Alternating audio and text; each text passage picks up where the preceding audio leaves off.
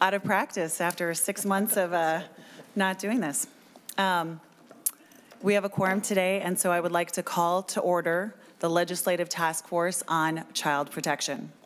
As many of you know, uh, the task force was established nearly 10 years ago um, following a tragic death of a child in Minnesota. And it has been a goal to make sure that we center ourselves on protecting children. I was named to this task force a month ago. Um, my name is Senator Nicole Mitchell, along with my co-chair Pinto.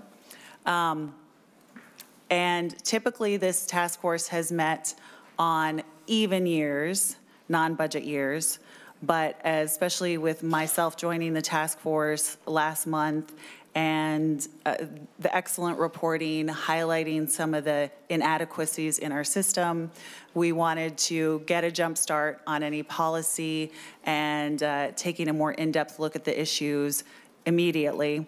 Uh, we also have new members to the task force, and so today is going to be kind of an overview of some of the different issues that um, we would be potentially looking at. But I will state that my goal is to not overreact or, or to not overcorrect, but to definitely come out of meeting with some of the different agencies with actual legislation on ways that we can better serve the children of Minnesota.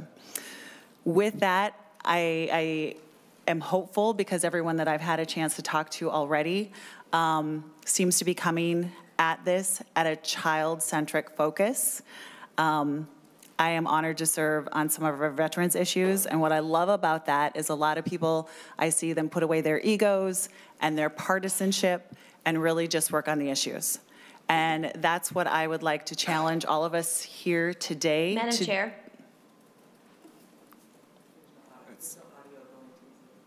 There's no audio. Oh. Senator Housley. Oh. Senator Housley? Oh, she may not be able to hear us. Okay, we can hear you. I don't know if you're talking to me, we can't hear you. Thank you for addressing that.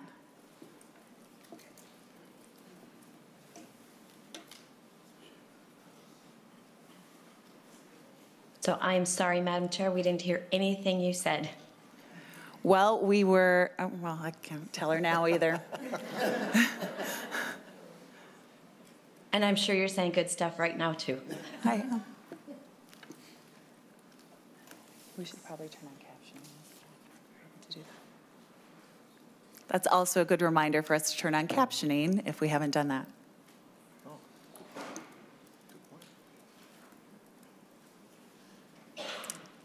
Thank the rest of you for your patience.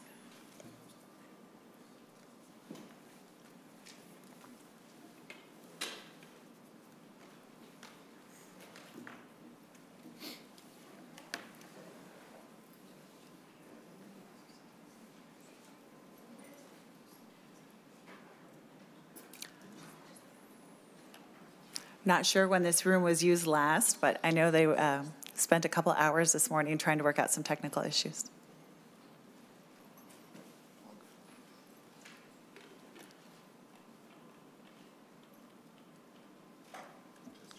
Can, can you hear us yet? No.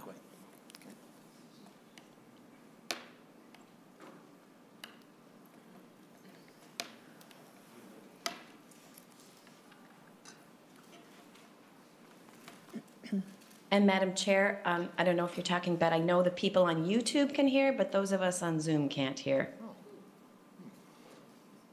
So if that helps the tech people in any way.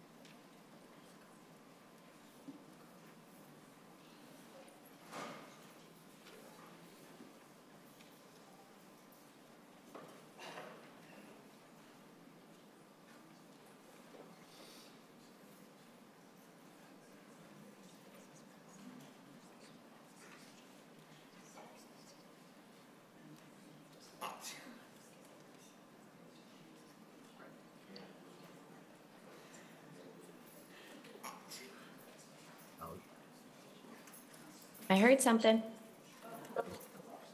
Can you hear us? I can hear you.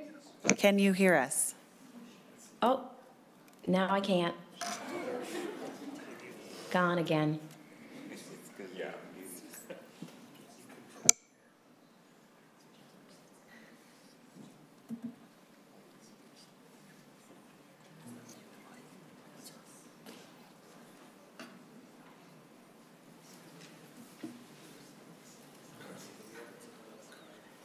Test. Oh, yes, I test. We just had to call in the expert. Thank you. Thank you. Sorry. Thank you.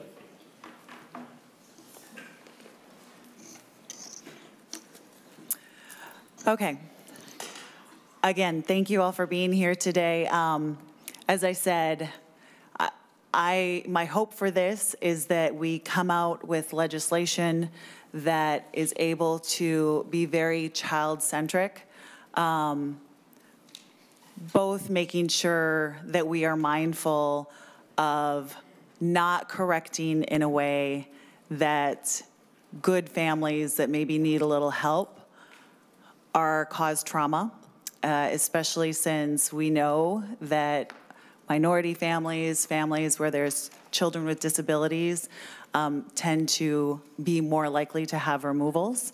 And so we have a lot of partnerships and some of our partner groups who are here today that we want to be working with through that process, but also make sure that the children of Minnesota are safe and that there, when there is a real safety issue, that we are doing the appropriate things. So um, thank you, everyone, for centering yourself today in working for the best of the safety of the children of Minnesota. With that said, before we get started, I would like to offer introductions.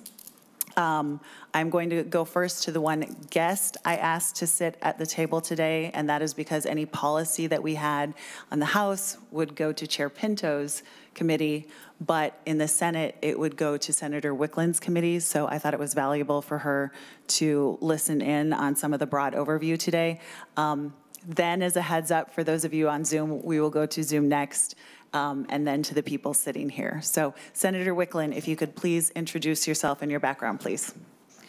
Uh, Thank you. Um, I appreciate being able to be here today. Um, I'm Melissa Wiklund. I represent uh, Senate District 51 in Bloomington, um, Richfield, Minneapolis, and I chair the Health and Human Services Committee. Um, Looking forward to learning a lot more and, and trying to find ways to address this um, situation with, uh, trying to prevent um, any further um, incidents and uh, trauma to children um, is definitely at the heart of what I hope to do, and I hope to learn from um, the discussion what policies might, policy recommendations might come to us. So, thank you. Thank you, Senator Wiklund. We will, I will now ask the two people on Zoom, uh, our two senators, if you could offer an introduction and if you have any um, background in child protection. And of course, we'll have an opportunity for questions later. I see Senator Housley first and then Matthews, at least on my Zoom. If you could please go in that order. Thank you, Madam Chair. Senator Karin Housley. I represent Senate District 33, Stillwater Forest Lake, and the surrounding St. Croix Valley. Um, and I too uh, am looking forward to seeing what um, happens, transpires today in the committee, and um, have a few questions and do want to work to a solution um, in a bipartisan way. So thank you. Uh, Thank you, Madam Chair. Can you hear me? Yes, Senator Matthews, thank you. Okay, wonderful. Uh, Good afternoon, everyone. Uh, I'm Andrew Matthews. I'm the senator from District 27. Uh, My hometown is in Princeton, and I have much of Sherburne County uh, with little bits in uh, Mille Lacs County, Isanti, and Anoka counties. And I'm looking forward to this hearing. I've been, my experience with child protection has largely come through my time in office. I've tried to help handle some constituent service cases uh, that came to my desk, and I have uh, pushed through a couple good pieces of legislation in the past. Uh, first, that have tried to help with the training aspect of child protection workers around the state, partnered with some uh, good folks uh, from some institutes and places that could part, be a partner with teaching for that. Um, also passed a law in the last session that I was uh, really happy with uh, in, in, the in the previous term. Uh, went through my committee, the civil law committee that I chaired at the time, that helped strengthen the ability to have uh, placements with family members if there is uh, able family members uh, able to take over that. So um, really important discussions, and it seems to be trying to determine which are which families need just some minor uh, correction and a little bit of help, and which ones are major issues because you can cause problems uh, not pulling a kid that needs to be pulled as well as pulling a kid that shouldn't be pulled. Um, and so that seems to be what the, what the tightrope is that we're trying to walk here. So I'm looking forward to working with all of you on the task force and trying to brainstorm some more ideas. And we've definitely got some more work to do. Thank you. Thank you, Senator Matthews um, and Representative Kresha. Um, again, if we could keep it to uh, just an introduction and any background you have in child protection. Representative? Uh, thank you. Uh, apologize for not being able to be there. Had some last minute changes here. So uh, appreciate the opportunity on Zoom. Uh, so have had some background here, worked on this issue in the past. I represent um, the Little Falls, Morrison County, Aitkin, Mille Lacs, Kanabec areas. So familiar with the child protection system, also with the counties and things that happen there. I think that it's important as we look at this um, whether or not we need a policy recommendation or what legislation, we don't know.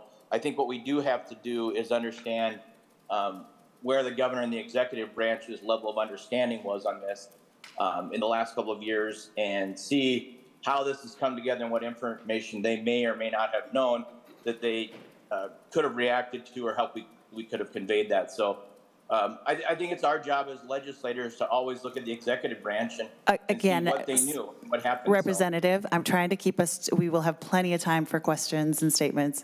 I'm trying to keep us to introductions right now and any specific background in child protection. Um, Madam Chair, I appreciate that, but you also got to set the stage with your introduction. So if it's okay, I don't mind just setting the stage and saying what my level of inquiry would be. I'm, I'm not trying to take shots. I'm just trying to say we should understand this issue. Um, Thank so you. I'll leave it there. I, I guess I understand the tenor of the meeting already. Thank you, Representative. Um, if our other representatives, if we could just come come up the side, please. Good afternoon. I'm Representative Patricia Mueller from Austin, Minnesota, down in 23B. Yep, where they make spam. And um, so come on down, spam me is free. I was a teacher for almost 20 years, and so for me, this is not something that um, I have been involved with like DHS or any of those things, but I have seen it personally worked out in my classroom and how it affects my students and my students' families. It's something that I think it is vitally important as we are looking at all the information that we have here, including some of the things that we've seen in the media, for us to um, really echo kind of what uh, Representative Kresha said, of looking deeper at what's happening. Thank you, Madam Thank you. Chair. Thank you, Chair. I'm Representative Jess Hanson. I represent District 55A down in Savage and Northwest Burnsville. I've worked on the Youth Foster Ombudsperson bill with Senator Housley. I have some of the youth fosters here, so I just want to say hello to them. Working with youth in this and keeping a youth voice is really important to me, and then continuing to work with our um, service providers, DHS, and the social workers and so many CPS workers has really been an important piece to me to continue to listen to, and I'm looking forward to all the information. Thanks. Thank you very much. And I am going to skip to the Senate side. I will let my co-chair go last. Um, Senator Kreun? Thank you, Madam Chair, Co-Chair Pinto. Uh, my name is Michael Kreun. I represent uh, District 32 in the State Senate, which is uh, all in Anoka County, Blaine, Ham Lake, Columbus, and Lexington. Um, my day job is that I'm a lawyer. Uh, my background is primarily in real estate, but I do have over seven years of being a volunteer lawyer with the uh, Children's Law Center. And so, uh, in that capacity, I have been involved um, on, on the front line, so to speak, in this issue. The Children's Law Center, for those of you that don't know, provides free legal advocacy for youth that are in uh, foster care situations. Um, and so Uh, I've been involved in that for over seven years um, and have seen um, a lot of this up close and personal in my role uh, there. Also was on the uh, Spring Lake Park School Board for five years before I was in the Senate. And so um, you, you get to see um, a little bit of it from that perspective in that role as well. And I'm looking forward to kind of trying to piece it all together, um, learn the, the, the system in its entirety and, and learn as much as I can and hopefully make some good recommendations to the legislature. Thanks. Thank you. Thank you, Madam Chair. And uh, Chair Pinto, John Hoffman, Senate District 34. That's uh, Brooklyn Park, Coon Rapids, Champlin, Dayton, and Rogers. Senate District 34, 22 miles of the Mississippi River, uh, both Hennepin County and Anoka County. So I have that other part of Anoka County that Senator Kreun doesn't have. The um, the background that I have uh, early on in my life, I spent uh, seven years in a juvenile detention facility Uh, as its supervisor. And then we both had the juvenile detention work and we had the shelter work in a county. And then from there, I went to the state level and helped bring in the Iowa Early Intervention Services Program, which became Iowa Early Access. And that was the difference between Part H and Part C of the federal law. And then from there, moved back home to Minnesota uh, I was on the Anoka Hennepin School Board as its vice chair for eight years, and of course, that is the largest school district in the state of Minnesota. I've been a past member of this committee, and, and uh, early on, I remember Representative Rena Moran and I were the only two elected officials that sat and took testimony for three hours one day, and it was um, pretty compelling and pretty heart-wrenching. And I'm glad you brought up the fact of people with disabilities because that clearly is uh, an issue there as long as we're talking about that to the educational integration that needs to occur as well. But uh, it's good to be back in this realm and I look forward to getting some things done this year. Thank you. Thank you, Senator Hoffman. And Co-Chair Pinto. Thank you, Madam Chair, and thanks uh, to members of the task force and members of the public for being with us. Um, I, so Dave Pinto representing the southwest part of St. Paul. I work outside the legislature as a prosecutor um, and so have some interaction with the system in that role. Um, I wanted to slightly correct a comment you'd made earlier, Madam Chair, about the, the genesis of the task force um, and just want to make sure we're kind of uh, to set the stage here. Um, so there was a governor's task force that came out of um, some reporting nearly 10 years ago now and the legislative task force on child protection, which I served on for a little bit of time along with Senator Hoffman and um, then Representative Moran and, and others, um, was established to kind of oversee recommendation that came out of that governor task force. That task force actually sunsetted, and there was no task force for a couple years. And then it was a little while back now that then Senator Johnson, now the Republican lead, um, and I thought that it would make sense for there to be some sort of uh, uh, forum for legislators to focus on child protection issues beyond just the committees, because um, we know these issues tend to be a small piece of much bigger committees. Um, ultimately, it is those committees where legislation moves, um, but to have a chance for legislators to look a little bit separately seemed like a really useful thing.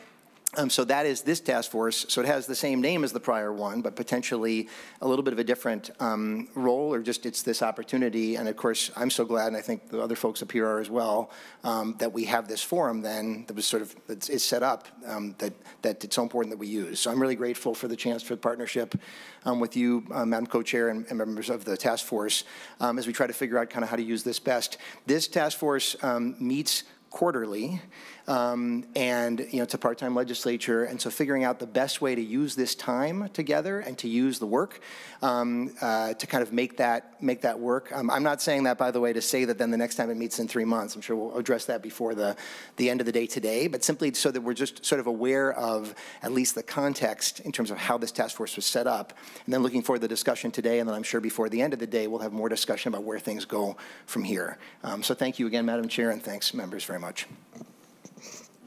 And thank you, Co-Chair Pinto. Um, to piggyback off of that before I give my formal introduction, um, one of the things that I have been looking at is because the legislature is technically part-time and a lot of us are on different committees and things of that nature, um, and we want to get give this issue as, as much focus with um, in, in addition to our amazing backgrounds or some of the amazing backgrounds that people here have, um, the people at the table who are doing the daily work, we have been talking about possibly putting to together an advisory opinion where we can bring the different organizations to the table.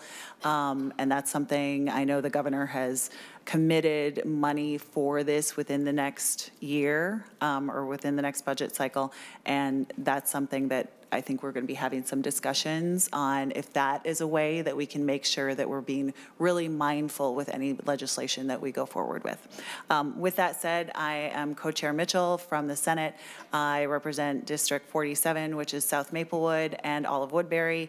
My background is um, as a volunteer, I've worked with children in both uh, domestic violence shelter, and homeless shelter, and kind of other capacities. I was a court-appointed special advocate uh, for several years, and currently I have been a foster parent both uh, full-time and through respite care since 2018, um, to include children with disabilities, which do often end up in foster care or using respite care, which I think is a is a great opportunity to, for families to get some of the support they need, um, but also stay together. Um, you, it, when we can support families in some of those creative ways. So with all of that said, and thank you all for your introductions today and your interest in the topic, um, I would like to start with the first item on the agenda, which is um, a presentation on the Office of Legislative Auditor. Um, thank you for coming up. We have Judy Randall and Dave Kirchner today to bring us that presentation. I'm going to ask that everyone, because this is a longer presentation, to save questions to the end, because whatever the question is could possibly be answered later on. So if we can wait till questions for the end, and I will turn it over to you. Uh, If you could introduce, and thank you so much for being here. Uh, Thank you, Madam Chair and members. For the record, my name is Judy Randall, Legislative Auditor, and as you said, with me at the table is David Kirchner, who is the manager of our 2022 evaluation, Child Protection Removals and Reunifications. Um, I do want to thank um, both co-chairs for convening this task force and having you all come here today. Um, we too have been reading the Star Tribune series with um, kind of our hearts full and reading those stories about um, specific situations that children and young adults and families have been in. Um, and they have been awful to read about.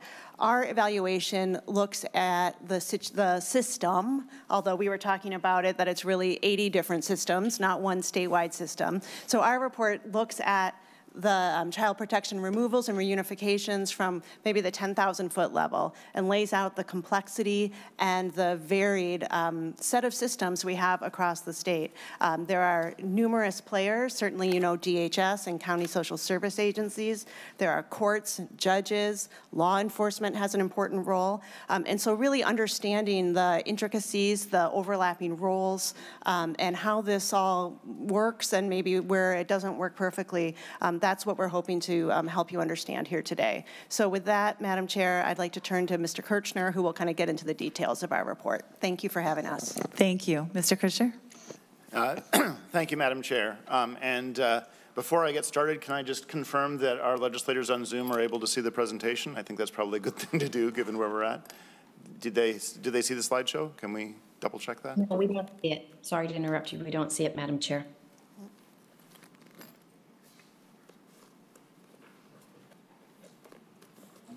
Working on it. I'm glad I asked.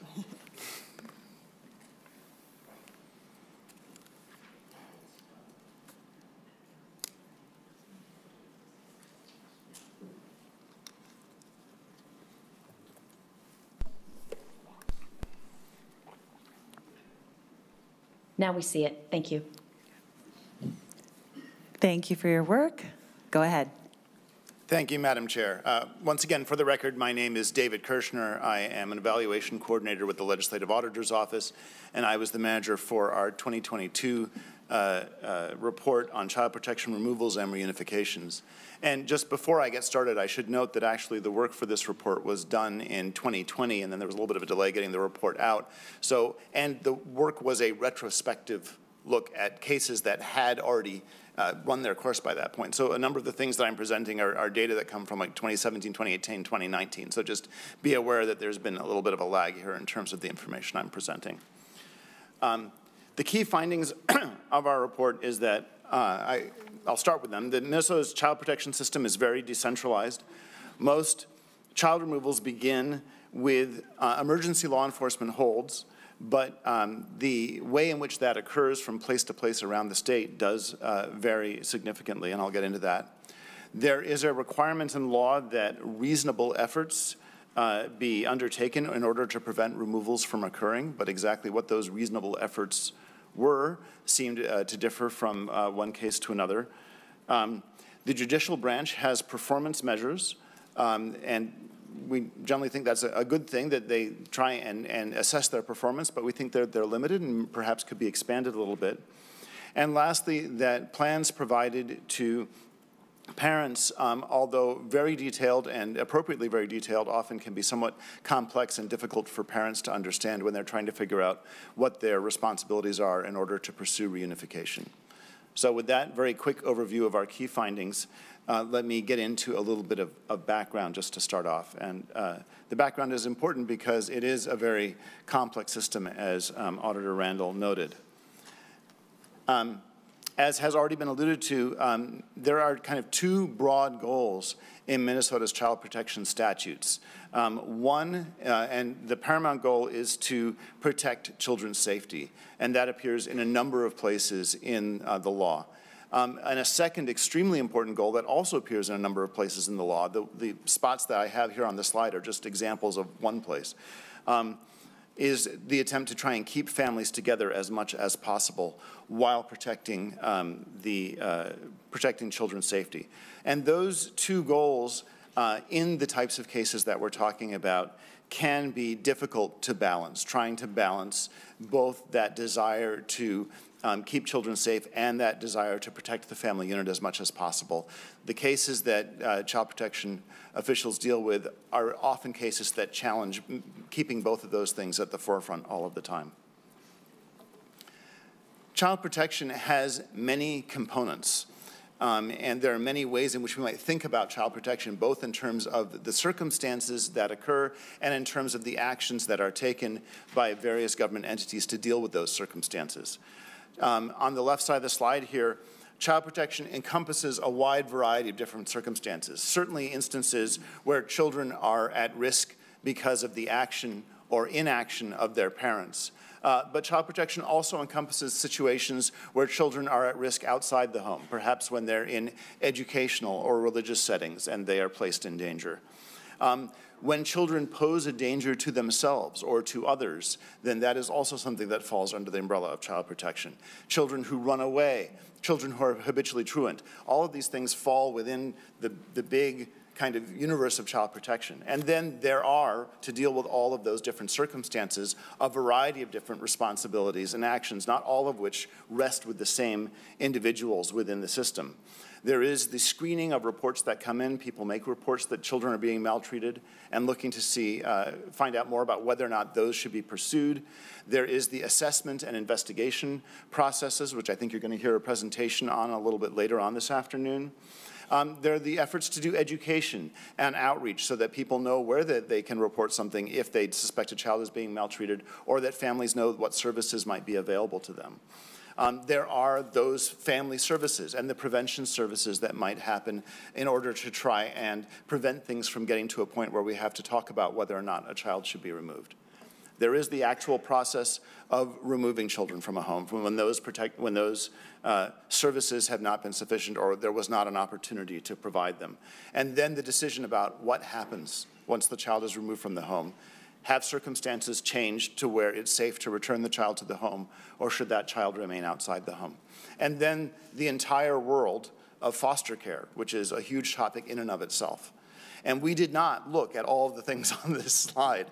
I want to kind of say that what we narrowed in our focus in on this report at the request of the Legislative Audit Commission were those specific circumstances where children were at risk due to parents' action or inaction, and those cases where we specifically got to the point of talking about removing children from the home. So there's a lot of other child protection stuff we didn't talk about, but these were the things that we specifically focused our efforts on. Now, whether or not to remove a child from a home is an extraordinarily important responsibility, and Minnesota law gives that, this responsibility very narrowly to two specific entities. Child protection agencies, and by that I mean the county social service agencies that usually have a child protection division or a child protection office within that agency. County social service agencies do not have the authority to remove a child from the home. That is not given to them by Minnesota law. The only, in, the only people that are able to remove a child from the home without the consent of the parents are law enforcement officers who may place a child on a 72-hour emergency hold and the courts. Um, child protection agencies are not given that responsibility. Of course, there is always uh, the option that parents may decide that they wish to uh, have a child uh, be placed outside the home on their own, and they can do that either formally or informally. Uh, but uh, when parental consent is there, then it's a whole different ball of wax. But if there is not parental consent, just law enforcement or the courts, not child protection agencies. And if we're talking about a long-term placement beyond that 72-hour period, that has to be a court order. Um, once there is a law enforcement emergency hold, there are three paths that uh, can be taken. And this is a, um, I don't know if you guys have our full report with you at the table, but this is a, a um, this is a simplification of a chart that appears on page eight of that report. Um, there are three paths that can take place after an emergency hold. First of all, local authorities might decide to return the child to the parents because either uh, the decision is made that the situation was not as dangerous as first thought, or that the danger, uh, the threat level has changed. Uh, and one example might be that a child uh, may have been considered to be, there may have been an adult in the home that was considered to be a threat to the child. And that adult has since been removed from the home. And then the decision is made, well, then it's safe to return the child from the home uh, after the adult was removed from the home, for example, by law enforcement activity or some other reason in which the adult went outside the home. Um, but that can take place before we ever get to a court hearing. That decision that the child, that circumstances have gotten to the point where the child can be removed to the home, that decision can be made um, by uh, child protection service authorities or, uh, or county attorneys, or uh, often it's a combination of people working together. Once you get to that 72 hour period and the child has not been returned to the, to the home, there must be a court hearing, the emergency protective care hearing. And at that point, the court makes a formal decision whether or not uh, the child should remain outside the home or whether or not the child should be returned to the home. Um, a third path that can be taken um, is that during that 72 hour period, during that emergency hold thing, the parents may agree for the child to be out of the home for a longer period of time.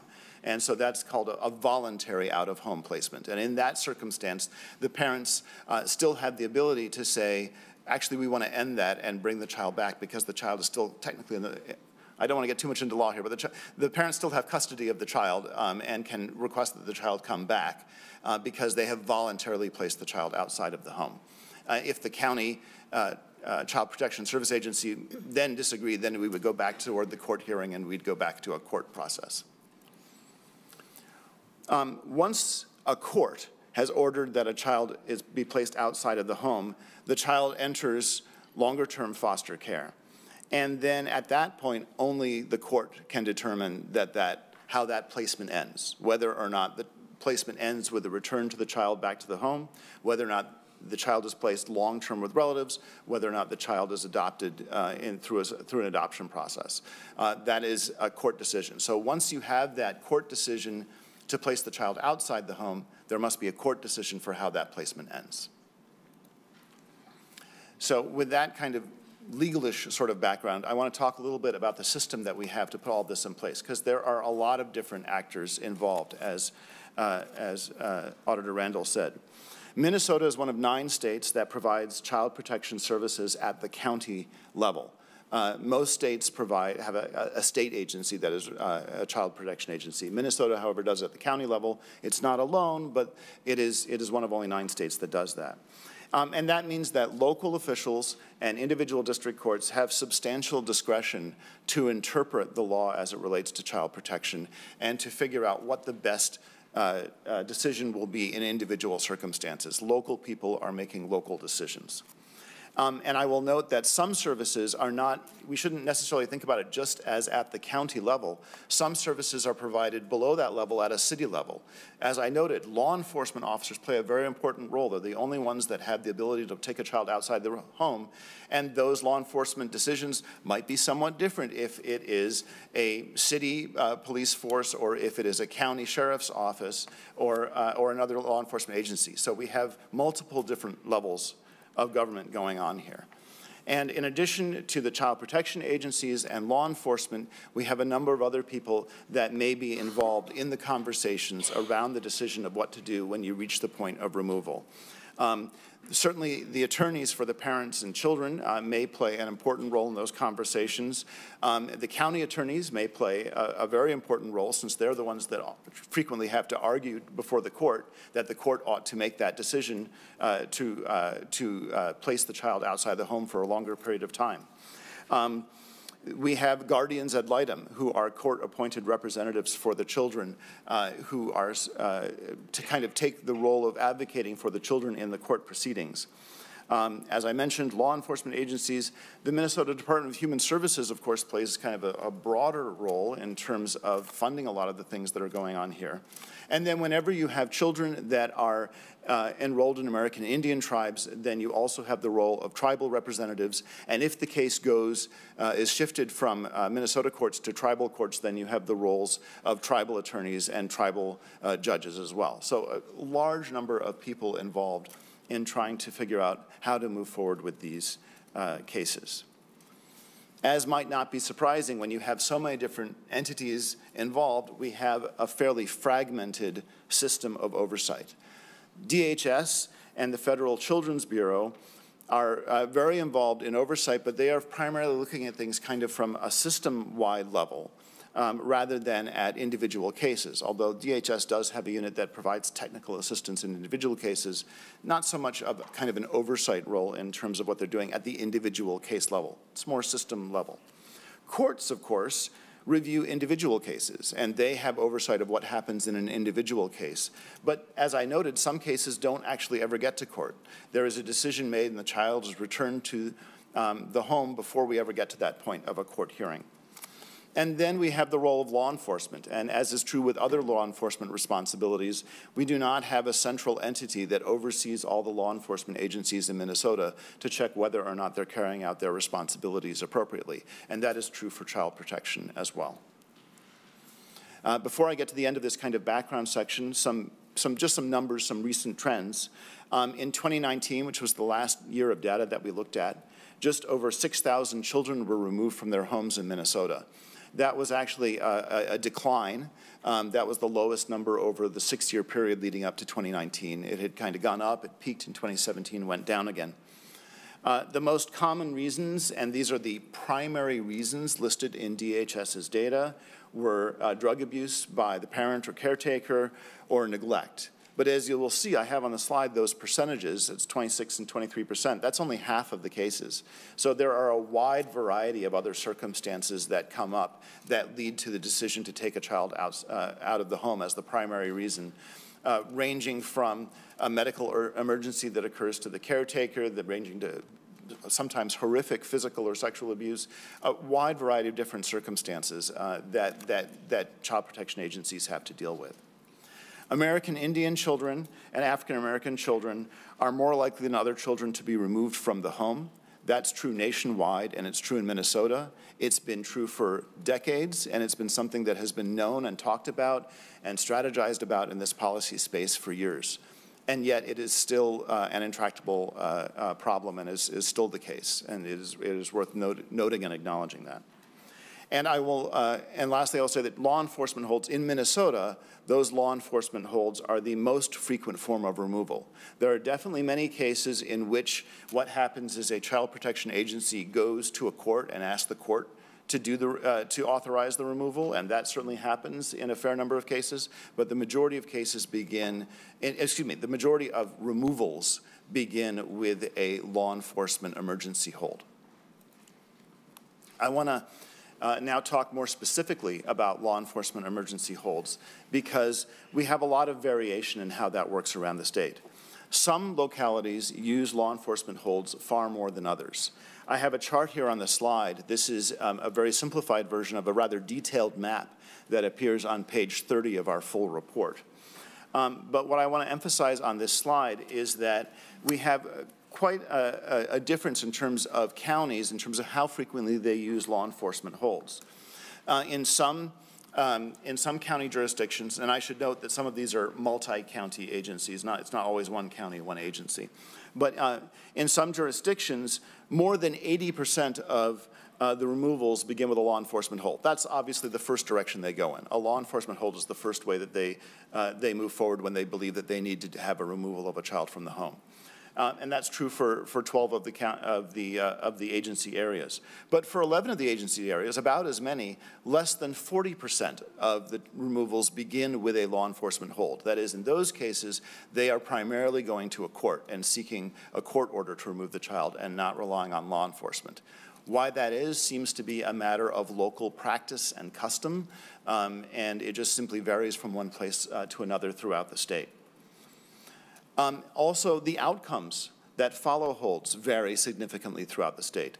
Again, we have a somewhat more detailed chart in uh, the report on page 36, but this simplified chart I have up on the slide just indicates the wide differences we have in terms of what happens after a hold, whether or not um, uh, there is no further out-of-home placement after that emergency hold. So you'll see the top of the slide, Beltrami County, in practically every instance where a child is removed from the home with a law enforcement hold, there is a subsequent court decision that the child remain outside of the home for a longer period of time. Um, on the other end of the spectrum, Washington County, at the bottom of this slide, more than a third of the instances where a child is removed from the home by a law enforcement hold, that child is returned to the parents um, before the, uh, or at the, either before or at the end of that 72-hour hold period. So wide, wide differences in terms of what happens after that law enforcement hold occurs. One of the things that we noted uh, also about law enforcement holds are some limit, kind of not a whole lot out there in terms of the data that is available about what specifically happens with regard to which specific law enforcement agency. That is, we can give you that information about Washington County. We can tell you how many holds there were in Washington County, but we can't tell you how many were done by the City of Stillwater Police and how many were done by Washington County Sheriff's Office and how many done were any other jurisdiction because that information is not collected by anyone, or at least it wasn't at the time that we were doing our report. And we thought, given those differences that we observed, it would have been really interesting to look to see whether or not more or fewer holds were done by uh, individual law enforcement agencies within these county jurisdictions. But simply nobody was collecting that data. Uh, and that was something that, we, that concerned us. We thought that data ought to have been available to us. Also, we noted that there are no ongoing training requirements for law enforcement with regard to child protection, even though that is one of the most intrusive ways in which law enforcement can interact with a family. It is, of course, required that law enforcement officers, when they're at the academy, receive training on child protection issues. But then after that point in time, there's no requirement. That's not to say that there isn't training. Many agencies do provide uh, some training on their own, but there's no requirement that that training might happen. And there certainly may be instances, I'm sure there are, where you have law enforcement officers who've been on the job 15 or 20 years and are placed in positions where they have to make a decision about whether or not a child should be removed from the home, and they're relying on that academy training from 15 or 20 years earlier. So we had two recommendations with regard to uh, the law enforcement uh, hold stuff. First of all, we do think that uh, DHS ought to be tracking which individual law enforcement agency places emergency holds. That's something that we felt they had the capacity to do, and we thought that was important information to be collecting. We also suggested that DHS convene a working group to make recommendations to the legislature about law enforcement training. There are an awful lot of things that we might want to train law enforcement officers about, so it, I, we, we didn't feel comfortable making a recommendation about this in not paying attention to all the other th things that law enforcement officers have to be trained on. But we do think it's a conversation that should be had. And we also uh, think that there may be some nuance involved here, that the expectations for training might be rather different if we're talking about an urban uh, police force with uh, hundreds of officers versus a county sheriff's office with, you know, a dozen officers or less. There may be some differences in terms of the expectations that we have. That should be we felt that should be sorted out with a working group with recommendations brought to the legislature. I now want to talk about efforts to prevent removals. Um, as I noted when I got talked about the key findings at the beginning of the presentation, under state and federal law, agencies must make what are called reasonable efforts to avoid removals of children from the home when they're not necessary. However, um, statutes, neither federal or state statutes, clearly define what exactly reasonable efforts are. It, reasonable is kind of left up to the discretion of local officials and district courts as to what reasonable is and what reasonable is not. Um, I will note that a higher and much more specific standard applies to American Indian children. Under the Indian Child Welfare Act, the Federal Indian Child Welfare Act, or Minnesota's uh, uh, Minnesota uh, Indian, um, I'm going to get it wrong, Minnesota, MIFPA, Minnesota Indian Family, Indian Family Protection Act, I think I've got it. Some, Preservation. Preservation Act, thank you. Um, uh, there are much more specific requirements in terms of what uh, is required in terms of active efforts. And it's much clearer whether or not the Child Protection Agency has done or not done those things because the outline for what active efforts are is rather clear. Reasonable efforts, it's a much more vague standard. And when we looked at a sample of 150 different cases where we read just about everything that was in the record related to um, those removals and what happened afterwards, um, we found that the prevention services that we could see being provided to families before a child's removal varied widely. In some cases, they varied widely based upon the different circumstances that were going on in that particular case, but sometimes they just varied simply, it seemed like, because they were in different places in the state. Um, we found that courts accepted many different actions and levels of activity as reasonable. Um, and that some court orders uh, even found that reasonable efforts had occurred, but didn't really explain what those reasonable efforts had been. They just simply said, we find that reasonable efforts happened, which made it difficult for us to even interpret what the court had, to, had used as its standard for what reasonable was. Now, we would have made um, some uh, very direct recommendations about prevention services um, uh, in our report, but at the same time we were working on our report, things were changing and they were changing because of a law that uh, was put into place at the federal level in 2018, the Family First Prevention Services Act, which mandated that states meet new requirements regarding prevention services. And so at the time that we were working on our report, DHS and the judicial branch were putting into place uh, new initiatives to respond to the federal law and to the availability of new federal funding for types of services that had not received federal funding before. Um, and so because we didn't feel like we had been able to see what was actually happening, because we were retrospectively looking at what had happened previously, we did not, uh, we, we didn't feel we were able to evaluate kind of the new prevention services that were being put into place. So we simply made a broad recommendation that prevention services are really important and we really encourage both DHS and, um, and the judicial branch to keep working in that direction. But I, I think that is a, a wonderful direction for this uh, task force to, to ask further questions about because by this point all that stuff should have been implemented and they should be able to tell you more about those prevention services they're doing. Lastly, I want to talk about placements and about reunifications. Within, um, we looked at the data and we found that within two years of most removals, children were either reunified with a parent or placed long-term with relatives. Now that's most, that's not all, but the majority of removals, children ended up with relatives, either the, the family they came from or with other relatives. Um, we also found that out-of-home placements with relatives increased uh, substantially between 2014 and 2019. Uh, I have a chart on the slide that, that, that shows that increase. We jumped from 44% up to uh, 50, nearly 60%, where children spent over half of their time outside of the home in, in, in placements with relatives. Um, and I will note that that can also include, this is kind of a funny thing in the terminology, that can also include placements back with the child's uh, family. That there are what are called trial home placements. And so a child can technically be in foster care with their own family because they are still within the custody of uh, the Child Protection Agency, but it's in a trial home placement. Um, I will note that that increase in children being placed uh, with families was larger for African American and Hispanic children. And one of the things that we saw was that there had been a significant gap in the percentage of children placed with relatives in 2014.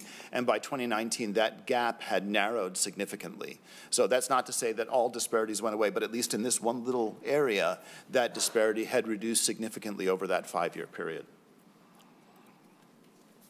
As I mentioned uh, at, in the key findings, we did take a look at the performance measures that um, the judicial branch has with regard to child protection cases.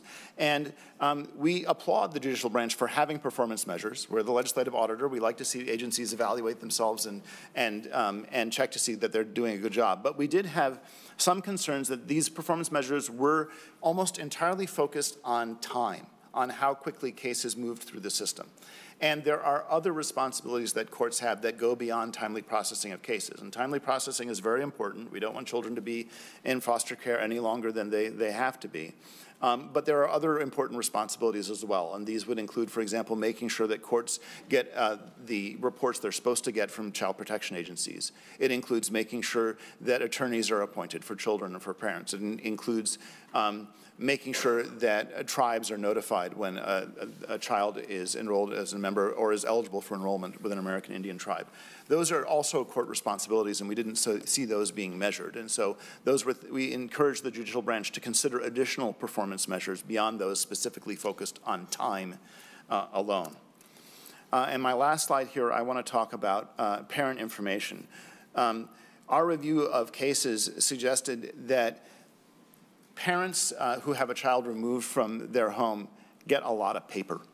Um, there are out-of-home placement plans that are required, and these placement plans are very detailed. They include information about education and about health care and about visitation and lots of things in there. And so the, you have a 20, 30-page report, and if there are, is more than one child removed from the home, you might get two or three of these 20, 30-page reports, and then there might be court filings as well. There's a lot of stuff. And one of the things that we didn't see was a simple one-page, here are the conditions you have to meet in order to pursue reunification. And we thought that was something that would be valuable so that parents, in addition to this inundation of paper, and it's not to say that those other things aren't important, they are, but would to get a simple, clear, here are the conditions. Here are the things the court has said that you have to meet if you want to pursue reunification um, and have your child back in your home. Uh, and if you're able to pursue those things successfully, then the, the, that's the, those are the steps that you need to take in order to get a favorable court decision. So we recommended that the, child, that the legislature require child protection agencies to provide parents with a short and easy to understand summary document that, that provides those requirements. With that, Madam Chair, I'm done with my presentation and I would be happy to take any questions from the committee. Thank you so much for your presentation. Um, I have some questions myself, but does anyone on the panel have any immediate questions? Senator Hoffman. Thank you, Madam Chair, and thank you for the overview and then um, well done. I mean, it was, you looked at it and you gave some historical perspective to that. And I'm, I'm wondering if when you were doing your dive in on the data, did it show, because we know nationally um, when you start to talk about intersectionality of this category and that category, and you add disability to that category, you're three times as likely, right? You're shaking your head, so yes, that was in there. And I just wanted to know, um, did you have a, a desirable outcome or, or an opinion on, you know, why we still don't think in the word of intersectionality when it comes to presenting data at all? Mr. Kirchner. Uh, thank you, Madam Chair, and thank you for the question, Senator Hoffman. Um, this is, um, these are topics that have been studied uh, by people for quite a long time, um, and the answers are complex, and there's not a single uh, magic bullet and says, ah, we figured, if we had figured it out, we would have fixed it a long time ago. At least we, we hope we would have, right? Um, it, there, there, there is a lot of complexity involved in these cases, and so um, uh, I think it has been challenging to come up with answers for why we have um, more children involved uh, that have disabilities or, or, or, families that have disabilities, because there's both sets of issues going on. Um, that are involved with the child protection system. It's challenging to figure out why we have more children with African American families involved with the child protection system. It's challenging why we have so many more families uh, of American Indian background involved with the child protection system. There are probably multiple um, uh, there are probably multiple, uh, what's the, different streams of explanation coming in. And I, I, I, so I think it, it, is, it is a complicated question and, and will probably have complicated answers. I, I, I would like to be able to say, uh, and we would have loved to give a recommendation. Ah, here's the magic thing. Do this and it will all go away. Um, we didn't, we didn't feel like we had such a recommendation to make. Um, so we point to those things as being ongoing, difficult issues to grapple with. Uh, but we did not, it, nothing met our standard for what we could say as a recommendation where we felt confident there would be a big improvement. Thank you, Madam Chair. As a follow-up, the uh, I met with the Anoka County folks, and the the county there's a, a direct link between poverty and some other these other actions, and and and that's in there as well. And I, I would hope that we can pull that, extract some of those uh, things from the report going forward. We just have to be very conscious of that. It's not just isolated um, as siloed approaches here, but there's multiple factors in play. And, and I think we're also waiting on some family first initiatives from the federal government this, this year as well, too. So we lining up. So once again, thank you for your time and your work on this. I appreciate that. Thank you. And I, I would just like to um, point out to everyone that we do also have, a DHS is going to be presenting a little bit later on some of the, the pathways and also the counties speaking about the same level. So um, hopefully we can get a little bit more insight into some of those issues. Senator Kreun. Thank you, Madam Chair. Uh, Thank you for that presentation. Um, I'm going back to what's uh, labeled page seven of your slideshow here about uh, recent trends at, um, in the just over 6,000 children that were removed from homes in 2019. And in the second bullet point, um, it talks about the common reasons, and it has uh, caretaker drug abuse at 26%, alleged neglect at 23%.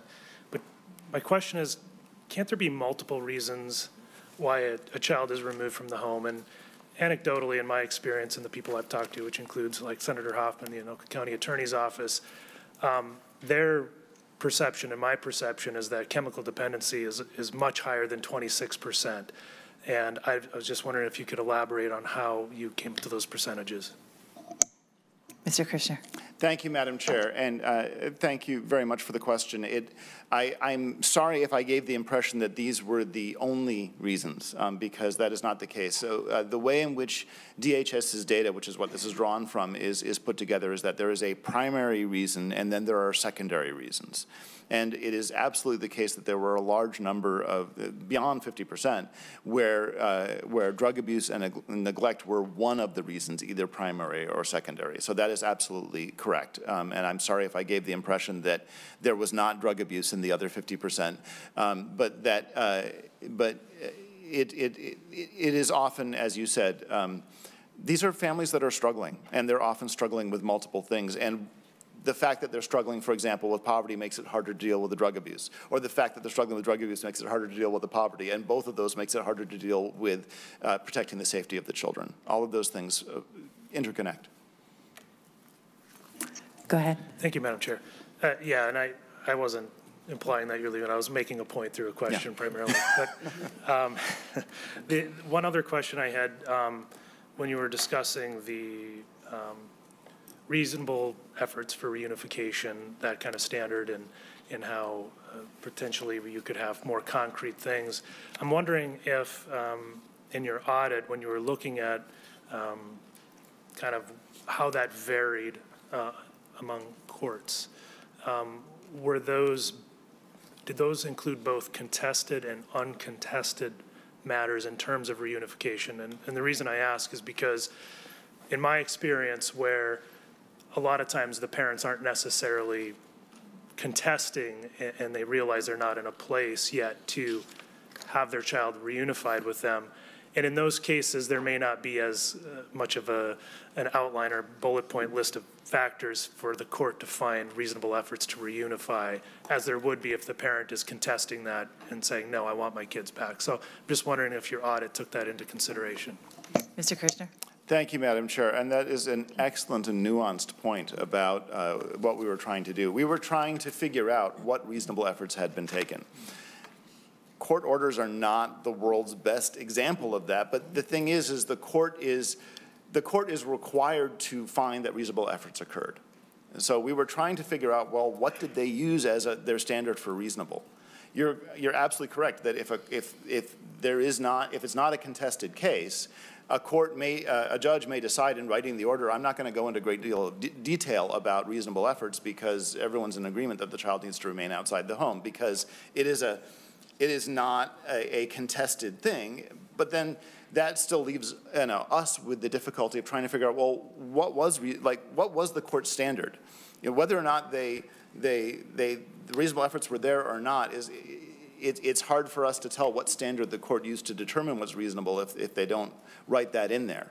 Now, do we need a law that says that the courts must always write down what exactly, I don't know what the answer to that is, but I do know that uh, our, our finding is simply that reasonable efforts, the whole world of prevention, and then what constitutes the standard, how much prevention is appropriate, um, how much, how many efforts should be provided to a family, um, is very vague and is really left up to the individual discretion and, and judgment of, of individual uh, child protection agencies and district court judges. Uh, it's, not, it's not something that it's easily to, to define and wrap your, wrap your fingers around.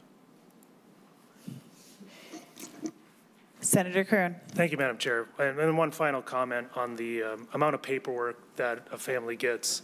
Um, you know, I do would be ideal if you could get it down to a one pager. Um, but I just wanted to comment. Um, in my experience, when it's done right, the judges basically do that in court orally. It may not be reflected in the paperwork, but what I've seen is the judge really kind of giving it in its simplest terms. This is what you need to do as a parent. So I just wanted to throw that in there for consideration. Thank you. Did you have, I didn't think Yeah. that was a question, but do you have a response? I, I, I- thank you very much, Madam Chair. I will note that I, I, I it was, that was uh, what was reported to us by a number of folks that that does happen. Um, Our feeling was that asking people to remember what happened and what exactly they were told on a day that might have been exceptionally stressful and express, exceptionally emotional, eh, there, I, we couldn't see a reason why you wouldn't also put it in, on paper where they would have it afterwards. I, I agree with that. I was just pointing that out. Thank you. Thank you. Uh, Representative Hassan. Thank you, Madam Chair. Um, Thank you, Commissioner, for the presentation. As somebody who has worked in the county as a social worker in child protection many years ago, I will say that we have come a long way, uh, but we still have many barriers. Um, I, reading the report, um, I have not seen the mention of like systemic racism. Some of the biggest problems that we have um, is a system that was designed to keep some people out and some people in. Um, we can, as legislators, legislate bias. Bias is a human thing. Um, and you can give as many, you know, trainings as you want in implicit bias, but it still exists. I used to work as a social worker, um, and I worked with many people who didn't look like me, many people who didn't understand into the homes that they're going into and the cultures that are present and the languages and the customs and the norms. They walk in, they have perception of what a good parent is, and that is the standard mainstream, uh, you know, perception of a good parent.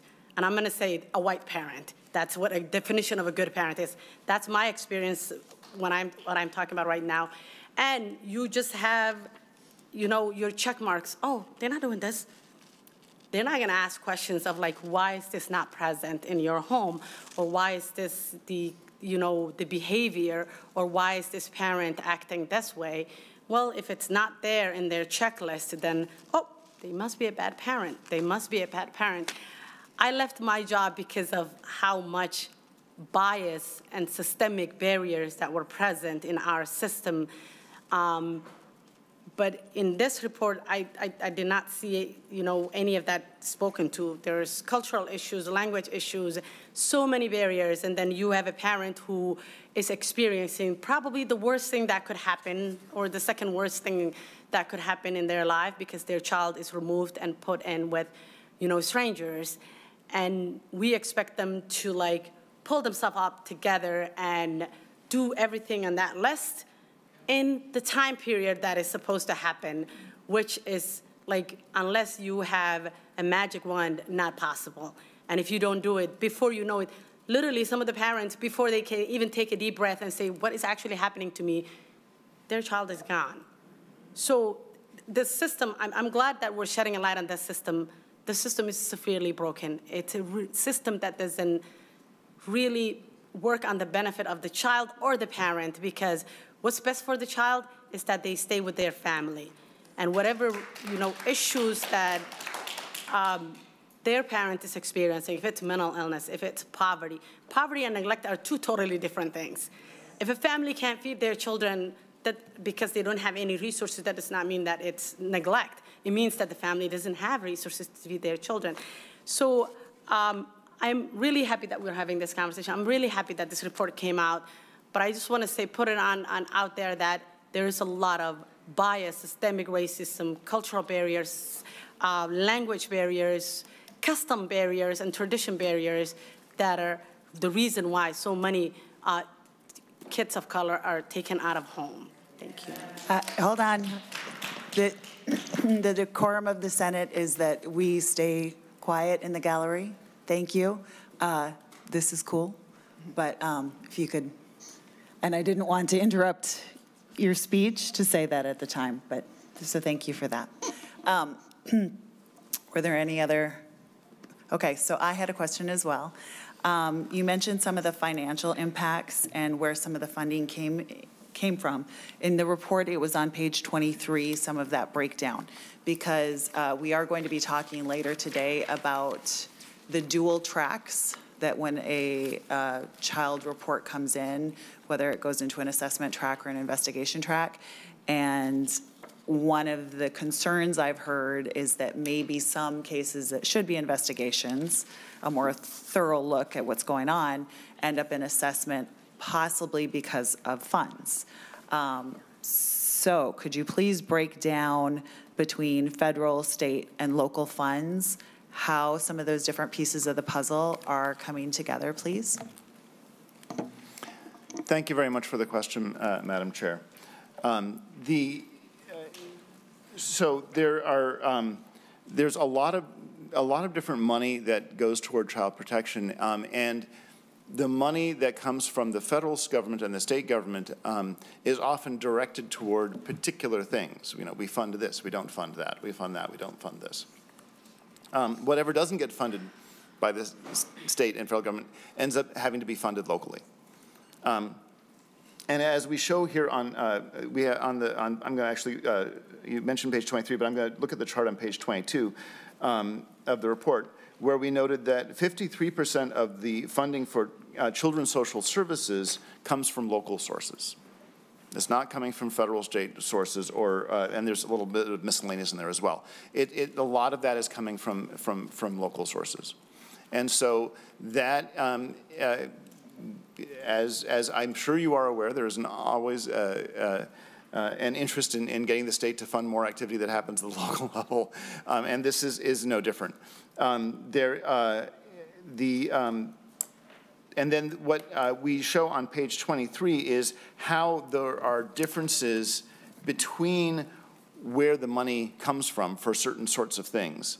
Uh, to note that, for example, even though there's both federal and state money in the system, that money is directed toward different things in, uh, in terms of how it's, it's sent out. So the federal government actually spends more money on child protection investigation and less money on the bottom item there, which is family-based life management skills, which we might think of as being one of the things uh, that might kind of fit in that prevention bucket, right? Um, whereas the state, in terms of the money that the state puts out, the state uh, uh, spends more money on that family-based life management skills side of things and less money on investigation. Now, part of that might be because of how much, where the federal government is spending money, the state's putting money elsewhere and so forth. But there, and I, I'm really, I think that the counties can really speak to this much more directly than I can about how they have to juggle the various different funding streams that they have available to try and figure out how to fund the important work that they do and whether or not that funding um, uh, influences what particular actions that they take. Um, but certain, I, I don't know if I answered your question, but uh, that was, I, I'm very happy that you pointed out some of those uh, funding pieces that we have in our report, because they are important. So as a follow-up, um, because Minnesota has more of a county-based than a state-based system, is it the possibility that there are some counties, whether it's just for what they have from a tax pool or how they're choosing to invest their money, there could be a, a big disparity in how much money is being put into some of the child-related services? Um, I believe that is, that is most likely the case. I can't say that with um, certainty, but I will also note, and this is particularly important when we're talking about smaller counties, is that the need changes quite dramatically from year to year. Okay, so if you're in a small county with, you know, 11,000 people and you have one family with four kids that you have to have an emergency intervention for, all of a sudden your budget might skyrocket. I mean, you know, you're, you're, you, you might, that might be uh, you might have gone by up by 50% of the number of kids that you're dealing with in a small county. So you, there are fluctuations that small counties have to deal with from year to year that uh, are less of an issue, I think, for larger counties because you know, a Hennepin County, a Ramsey County, they have kind of a steady, steady stream of stuff. So um, uh, certainly there are differences in terms of the availability of, of, of funding uh, for social services. That's something that we've talked about in many reports over time, not just about child protection, but in, uh, you know, we have a county-based social services system, and that's certainly something that our office has talked about in many reports.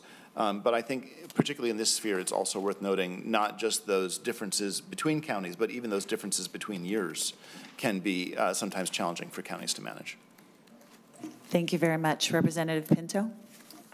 Uh, uh, thank you, Chair. So I have a, a, a, question, a question and a comment, and I, am aware of wanting to get to other things on the agenda, so I'll try to be quick and ask you as well. But if you can go to slide um, 16, which is outcomes following holds vary. Yeah. Um, and uh, I just, um, do we have an insight as to why? I could imagine looking at the, the range between counties. If there's one county in your chart that hardly any emergency holds don't result in out-of-home placement, another county that more than a third. Um, do we have any insight into why that disparity or what's happening in different counties, or is the challenge just such a lack of data that we just, just don't know? Uh, Mr. Kirchner. Thank you, Madam Chair. Uh, and thank you for the question, uh, uh, Representative Pinto. I, um, I, I, wish I could give you more detail. And one of the things, uh, honestly, that made it more challenging to look at this more closely was just simply not knowing who was even doing the emergency holds. Um, like, it, it, it, as I said, you know, we, Washington is kind of an outlier on this thing, but I don't know who's doing those emergency holds, whether it's City of Stillwater Police or whether it's Washington County Sheriff's Office or it's all of the above. Um, and um, and so that makes it um, that makes it a little bit challenging. There are multiple stories that you could tell from the information on this slide, and we're not quite sure which one that they are, without doing a deep, deep dive into an individual county. You know, is it the case, for example, in Washington County that they're removing an awful lot of kids from homes that didn't need to get removed in the first place? Or is it, or is it the case that they have such a good system of support services that are available once a child has been removed that they're able to return many more kids that other counties aren't able to? I don't know the answer to that question. I'd love to be able to provide it. But with, without doing a really, really deep dive and just like spending a bunch, you know, a couple of months just looking at Washington County, which we didn't have the ability to do, answering that kind of question is difficult. And you could say the exact same thing for Beltrami County on the other side of the spectrum. Is it the case that they're really, really careful and they only ever remove a child, you know, when it absolutely is necessary and the court always agrees, or is it the case that they sometimes don't remove children when maybe they should be because they, like every time they do it, it, it, it, it goes forward? Or is it the case that you have courts there that just always do whatever, they always, you know, back up whatever is done by local officials? And so, I mean, there are so many different stories that you could tell with the information here, and we don't know which one of them are, is true, but we do know that the, the, the difference we think is worth noting and worth uh, paying attention to. Representative Pinto. Uh, thank you, Madam Chair. And then just the comment, and I had the benefit, Representative Hansen did as well, I guess, of hearing you, I think our, our one of our very first meetings of my committee this mm -hmm. year, you presented, and thank you for that. Um, I remember thinking at the time, and even more now, when I look at the key recommendations, they feel pretty narrow, to be, to be honest. So the only one to the legislature is just that we should direct child protection agencies to produce short, easy-to-understand summary documents for parents, which seems important. Um, I wonder if, if at this point, are there broader recommendations that you, I mean, it seems like there was a constraint that you were under because this federal law was, was enacted at the time. Um, but just given the importance of removals or, or reunifications, maybe just the comment that I at least, and I suspect others as well, would welcome if there are broader recommendations beyond just that we direct agencies to produce short summary documents. Um, I think we, we would certainly welcome those um, recommendations. Thank you, Madam Chair. Thank you for the comment. Uh, Madam Chair, if, if I could, thank you so much. Um, I do want to emphasize the recommendations about law enforcement um, because I really think that that's an area where I felt like our report took a real close look at the role of law enforcement with regard to the child protection system in a way that people don't often do. People kind of focus on the child protection agency side of things, and they play very important roles. But in Minnesota, it is law enforcement that has the ability to remove a child from the home. It is not the child protection agency. And so encouraging DHS to bring recommendations to the legislature. So we are actually recommending legislative action there. We just didn't feel like able to, to make a specific recommendation for what that should be, but encouraging DHS to bring uh, to convene a working group to bring recommendations to the legislature about law enforcement training and about thinking about the role of law enforcement is, I think, very important.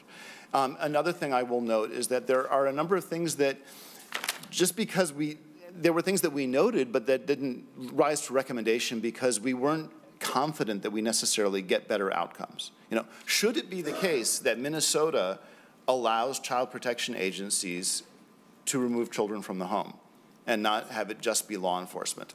There are plenty of other states that do that. We don't have any confidence that we would get better outcomes from that.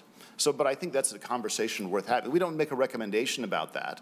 But we did note, for example, in the report, something that we thought was very interesting, that um, when we asked this question, because we surveyed both law enforcement agencies and child protection agencies, and we asked this question, should Minnesota child protection agencies have the ability to remove children from the home? And fascinatingly, the majority of child protection agencies said no, and the majority of law enforcement agencies said yes which was, I thought, a really interesting kind of insight into the fact that nobody really wants to make these decisions um, because they're hard and because when mistakes are made, terrible consequences ensue. And it's very, very difficult what we ask folks to do out in the field. Thank you for that. I, I will say that um, looking at high contact mandated reporters and how they're trained in general is something I, even before this, had already been interested in, including law enforcement. And we talked about maybe addressing that in a future task force or in, in one of our future meetings. So I appreciate that. Um, seeing no other questions and wanting to keep our agenda on time, I greatly appreciate um, your time here today. Um, but I am going to excuse you and I am going to turn it over to uh, Commissioner Jodi Harpstead, um, who wanted to have the opportunity to make a couple comments. And then after that, we will continue on to a DHS presentation um, about intake, and then after that, um, more from the dual track system from our counties. Commissioner Harpstead, at your convenience. Thank you so much. Uh, Chair Mitchell, Chair Pinto, and members, I'm Jodi Harpstead, Commissioner of the Department of Human Services. Thank you for the opportunity to provide a few brief opening remarks on this very important issue. The Department of Human Services is the state agency charged with overseeing the child protection system in Minnesota. As you've heard, like some nine other states, we administer a state-funded, county and tribal administered continuum of human services for Minnesotans. The death or abuse of any child is a tragedy for our communities. Our entire human services system throughout Minnesota is committed to child safety. It is also committed to keeping families together wherever feasible. This is delicate and difficult work. Our county social workers and judges must balance when to keep a family together, when to remove children from home, and whether they should be reunited. Social workers and judges make their best decisions one family at a time based on the information available to them at the time. To get a full picture of Minnesota's performance on child protection, we look at a broad constellation of factors. We believe we must always work to improve our system because every statistic represents a child who deserves safety. Minnesota's had a reduction in the recurrence of child maltreatment in general, which has been below the national average for the past three years. We've also had an enviable record of movement out of foster care to permanency and permanency stability, well above national averages for some years. And there are areas of concern. Our rate of return to foster care is higher than the national average, for example. We continue to learn and look for the best approaches to giving kids the best start. Since the previous Child Protection Task Force made their recommendations, there's also more and more research about the lifelong trauma caused by separating children from their parents, even imperfect parents. We continue to be concerned about the racial bias still very present across Minnesota about what constitutes a proper home for children to grow up in, the racial bias in the children who experience out of home placement, and the bias in the homes that are chosen for permanency. We all need to be concerned about equity in out of home placement as well as child safety. This task force heard data about these disparities last year. They persist today. And of course, we hope that the historic investments made by the legislature in this past session will move the needle on reducing systemic racism and its resultant intergenerational child poverty and therefore childhood trauma. I'm grateful to the governor and lieutenant governor for appreciating the need to support the child protection workforce with their advocacy for additional funding to reduce caseloads. That can only help give these frontline workers the time and space they need to gather information and offer their best judgments to the courts. And we're working with our county partners, AMC and MACSSA, to host a meeting soon where child protection workers can support each other in their work and we can all discuss how we can continue to improve outcomes. We'll gladly share the outcome of that discussion with this task force if you choose, as you continue to do your own examination of future options for this work. I'm sure you'll want the input of the people doing this work on the ground in Minnesota, as well as the opinions of experts from other states. I certainly hope that after some additional examination of how our system works, we'll end up together in the place where our county social workers and judges can continue to stand for both child safety and family preservation making difficult judgments based on the information they have, now with fresh, new insights from their own discussions and your deliberations. Minnesota and all of its systems continually improve as we work together. I know we will all treat this conversation with the curiosity, sensitivity, and compassion that our children and families deserve.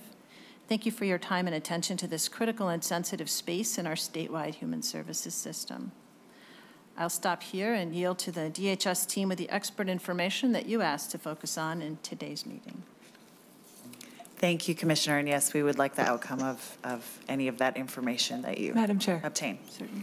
Is there a possibility for me to ask a quick question of the Commissioner, please? Yes, Representative, go ahead. Thank you, Madam Chair and Co-Chair Pinto. Thank you so much for being here. And, um, you know, we've all been pretty shocked by the the reports that we've been reading, which is a reason why we are probably meeting first time since 2022. So it's good to be back.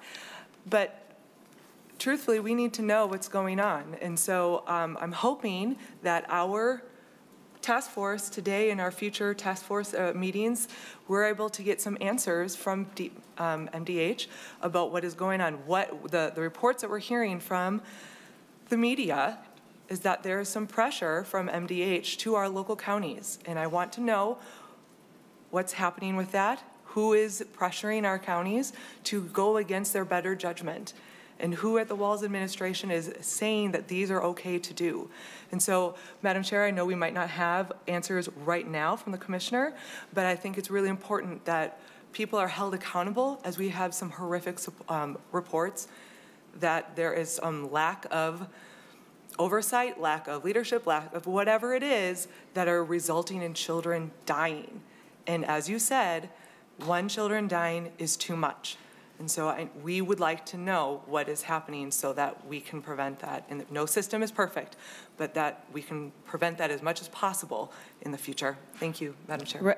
You'd said there was a question. Was there a question in there? Well, I guess I can ask my two questions. I don't know if I'll get an answer right away, but um, my two questions are, who at the Department of Human Services is pressuring our local child protective services to ignore their best judgment to derail child protective investigations? And who within the Walz administration developed or endorsed the use of this policy? Those are the two questions that I would like to be answered. Thank you, Madam Chair. Commissioner? Yes, Chair Mitchell and, uh, and uh, member, uh, we have n- no practice in the Department of Human Services of pressuring our counties to go against their better judgment. And there is no uh, policy in the Walz administration to do such a thing. As I, as I've said, we appreciate that our counties um, and our, and our judges are making their best decisions at the time with the information that they have available. We have plenty of conversations across the human services system about the ways that we can continually improve our system.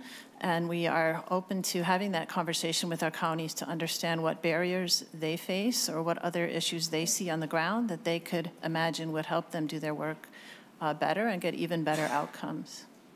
Thank you, Commissioner.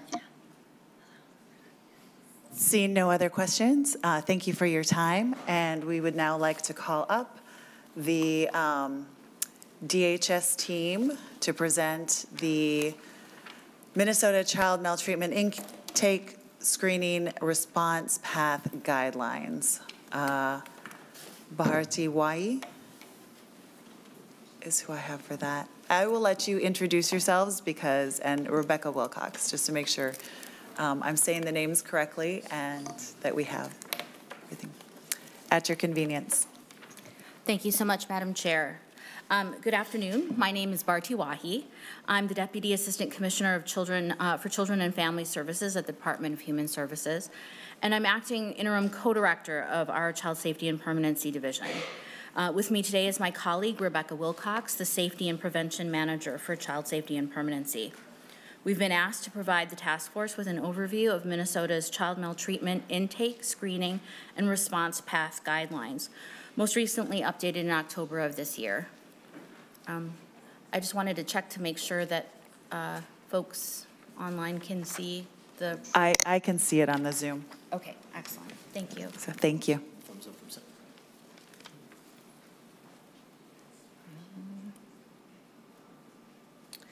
Um, I would like to take a moment uh, first to echo the Commissioner Harpstead's remarks. Every child, every young person is precious, and the department takes child safety in all its facets seriously. Uh, as our colleagues in the OLA said today, the child welfare system is complex, and we all share, an, uh, we all have a shared accountability for the safety of children and young people in our community. We appreciate the opportunity to work with the Legislative Task Force and many other people as we grapple with this complexity and identify areas for increased resources, streamlining, and improvement. As we uh, jump into our presentation, uh, we wanted to focus first on a, a brief um, overview of the system itself and then jumping straight into our, the information on the guidelines.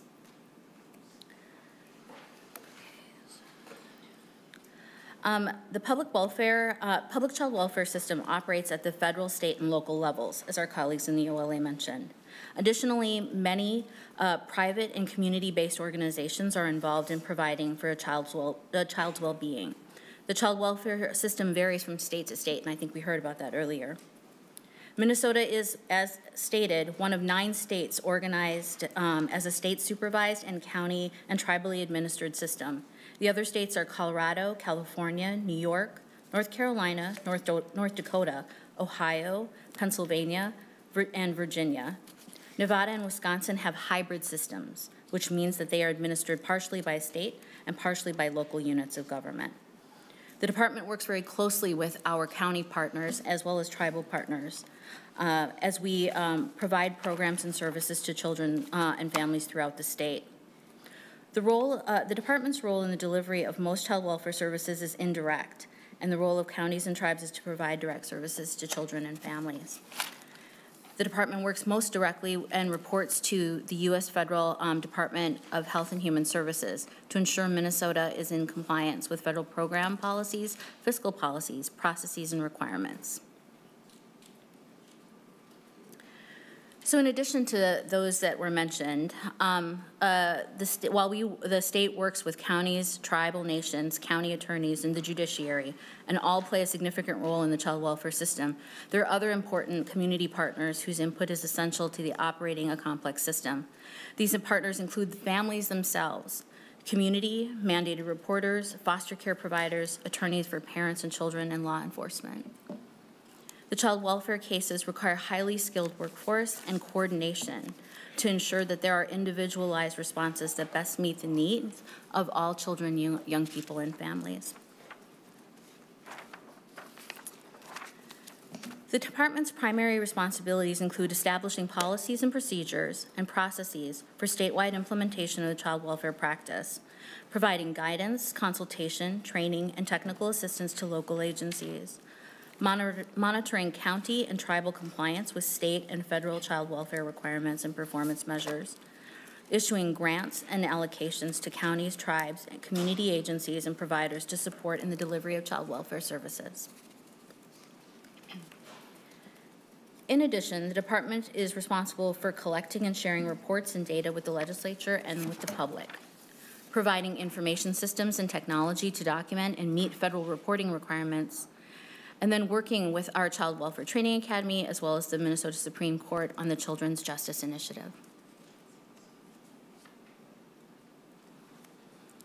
The child welfare system is a group of public and private services that are focused on ensuring that children live in safe, permanent, and stable environments that support their well-being, including the prevention of child abuse and neglect, family preservation and support services, child protection, in which government social uh, service agencies receive maltreatment reports, conduct investigations and assessments, provide treatment and intervention services um, to children and families. Foster care, including relative foster care and children's residential placement, adolescent services for older youth um, and those transitioning out of foster care, kinship and adoption, as well as the Indian child welfare, giving tribal governments strong voice in child welfare proceedings that involve American Indian children. The department and our collaborative partners in the counties, tribes, and community are focused on increasing access to prevention services and supports, including concrete supports to families experiencing deprivation. National data indicates children are safest when investments are made in children and families, reducing trauma and the need for out-of-home placement. We appreciate the OLA's highlight of prevention services, and the department is committed uh, to working on uh, ensuring that we have strong upfront systems. We look forward to the opportunity to discuss that with this legislative uh, task force in the future.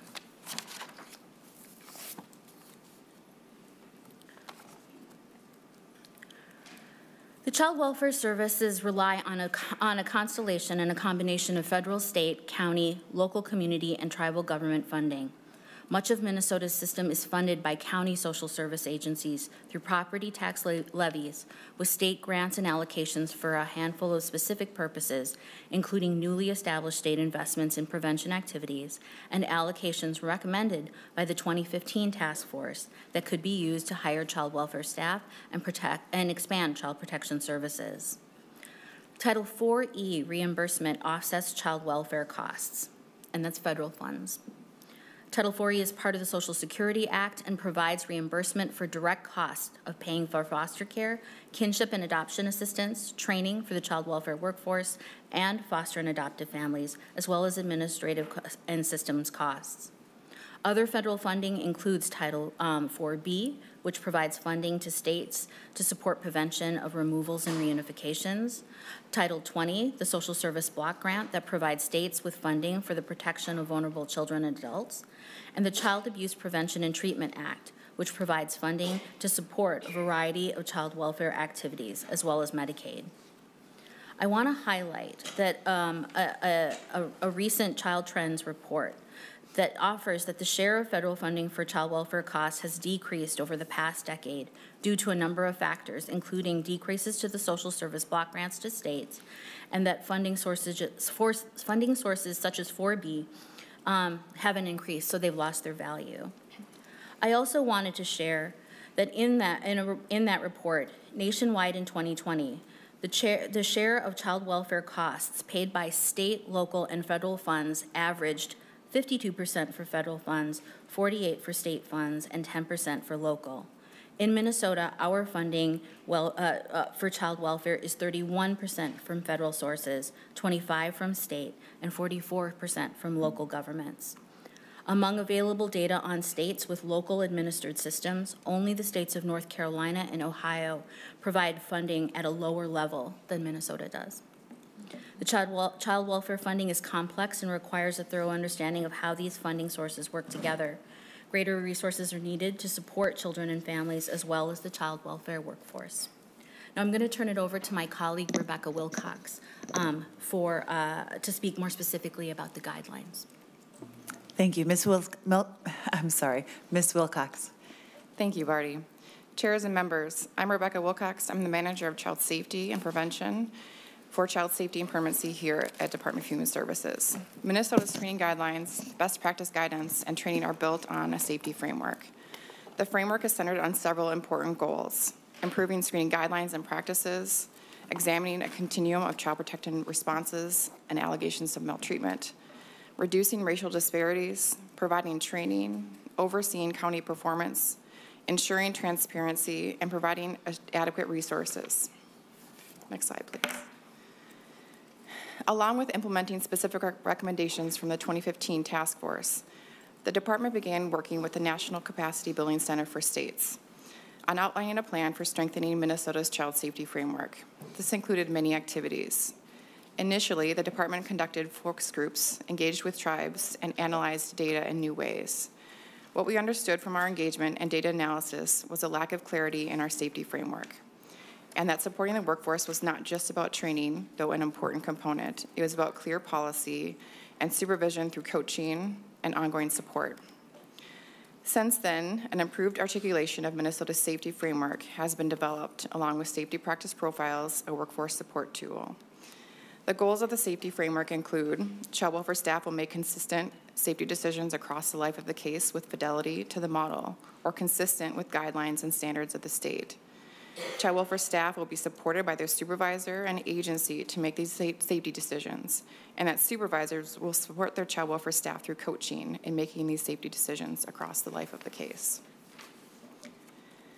We know that defining safety can be difficult and outcomes can look different in every case. Most parents want to keep their children safe, and sometimes circumstances or conditions interfere with their ability to do so. This is also a challenge for child welfare professionals who are tasked with making safety decisions in partnership with children, families, and many other systems. We also know that workers suffer from high burnout rates, fatigue, second guessing, and intense public scrutiny, all which can lead to inconsistencies in practice. Within the context of the larger Minnesota Child Welfare Practice Framework, the safety framework focuses specifically on child safety and aims to define practice and promote consistency across the state. The Child Safety Framework outlines a shared set of principles, guidelines, and practice tools designed to support child welfare professionals. The idea being that when we share a consistent framework for practice and engagement, we will have more consistent outcomes. In an effort to strengthen our safety framework and influence practice, we recognize the department's responsibility to invest in and provide updated practice guidance, updated tools, worker and supervisor training centered in the safety framework and safety practice profiles, supervisor coaching training, motivational interviewing training, and fidelity monitoring, which ensures that the work is completed in accordance to the model that the state has outlined. Next slide. Minnesota's screening guidelines is part of Minnesota's child safety framework rooted in state statute. Minnesota's policy is to protect children whose health or welfare is jeopardized by child maltreatment.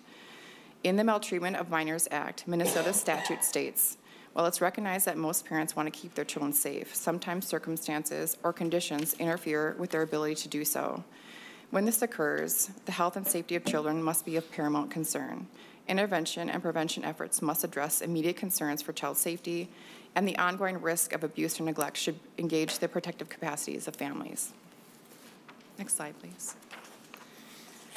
The purpose of the child maltreatment intake and screening response path guidelines, or the screening guidelines, is to provide direction for local welfare agencies to promote statewide consistency in the definition and practice as mandated by state statute. These guidelines also provide information for mandated reporters and the public about the types of child safety concerns that should be reported. Families and communities benefit when child maltreatment screening guidelines are clearly understood and readily available. These guidelines are based on Minnesota Statute 260E or the Maltreatment of Minors Act. child protection staff, supervisors, and others involved in child protection intake and screening of reports must follow these guidelines and must immediately implement updated procedures and protocols. The guidelines reiterate state statute outlining which type of allegations may pose higher safety threats to children and must be responded to immediately. The guidelines articulate that if a report meets the state definition of maltreatment, a risk of harm exists. Next slide. The new screening guidelines were introduced in 2015 after a work group process developed them based on state and federal law and the recommendations coming out of the 2015 task force. The department held statewide specialized in-person trainings on the guidelines to ensure local agencies understood them and were able to implement them consistently. The department also integrated these into existing training for child welfare workers and has provided ongoing technical support since that time. The department also provides rapid consultation for local agency workers needing advice on how to address specific case reports and has supported local agencies in developing screening review teams. Each year, the department updates the guidelines to refine, clarify, and adjust them based on new laws and other circumstances that may arise. As recommended by the 2015 task force, the guidelines are intended to provide a nimbler method of addressing on-the-ground circumstances than is available through legislation. For example, the department recently adjusted the guidelines to reflect community concerns with a number of maltreatment reports made to local agencies for children experiencing extended stay in hospital settings due to mental or behavioral health crises, while their families were searching for appropriate mental health or other care.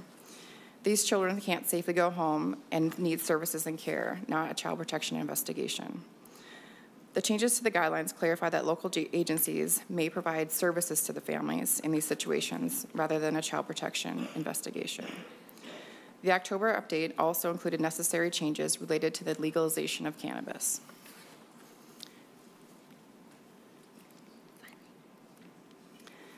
State law requires that counties follow the screening guidelines. This means that if a local welfare agency wishes to implement, implement changes to these guidelines, it may, must first consult with their county attorney and then seek prior approval from their department, from our department.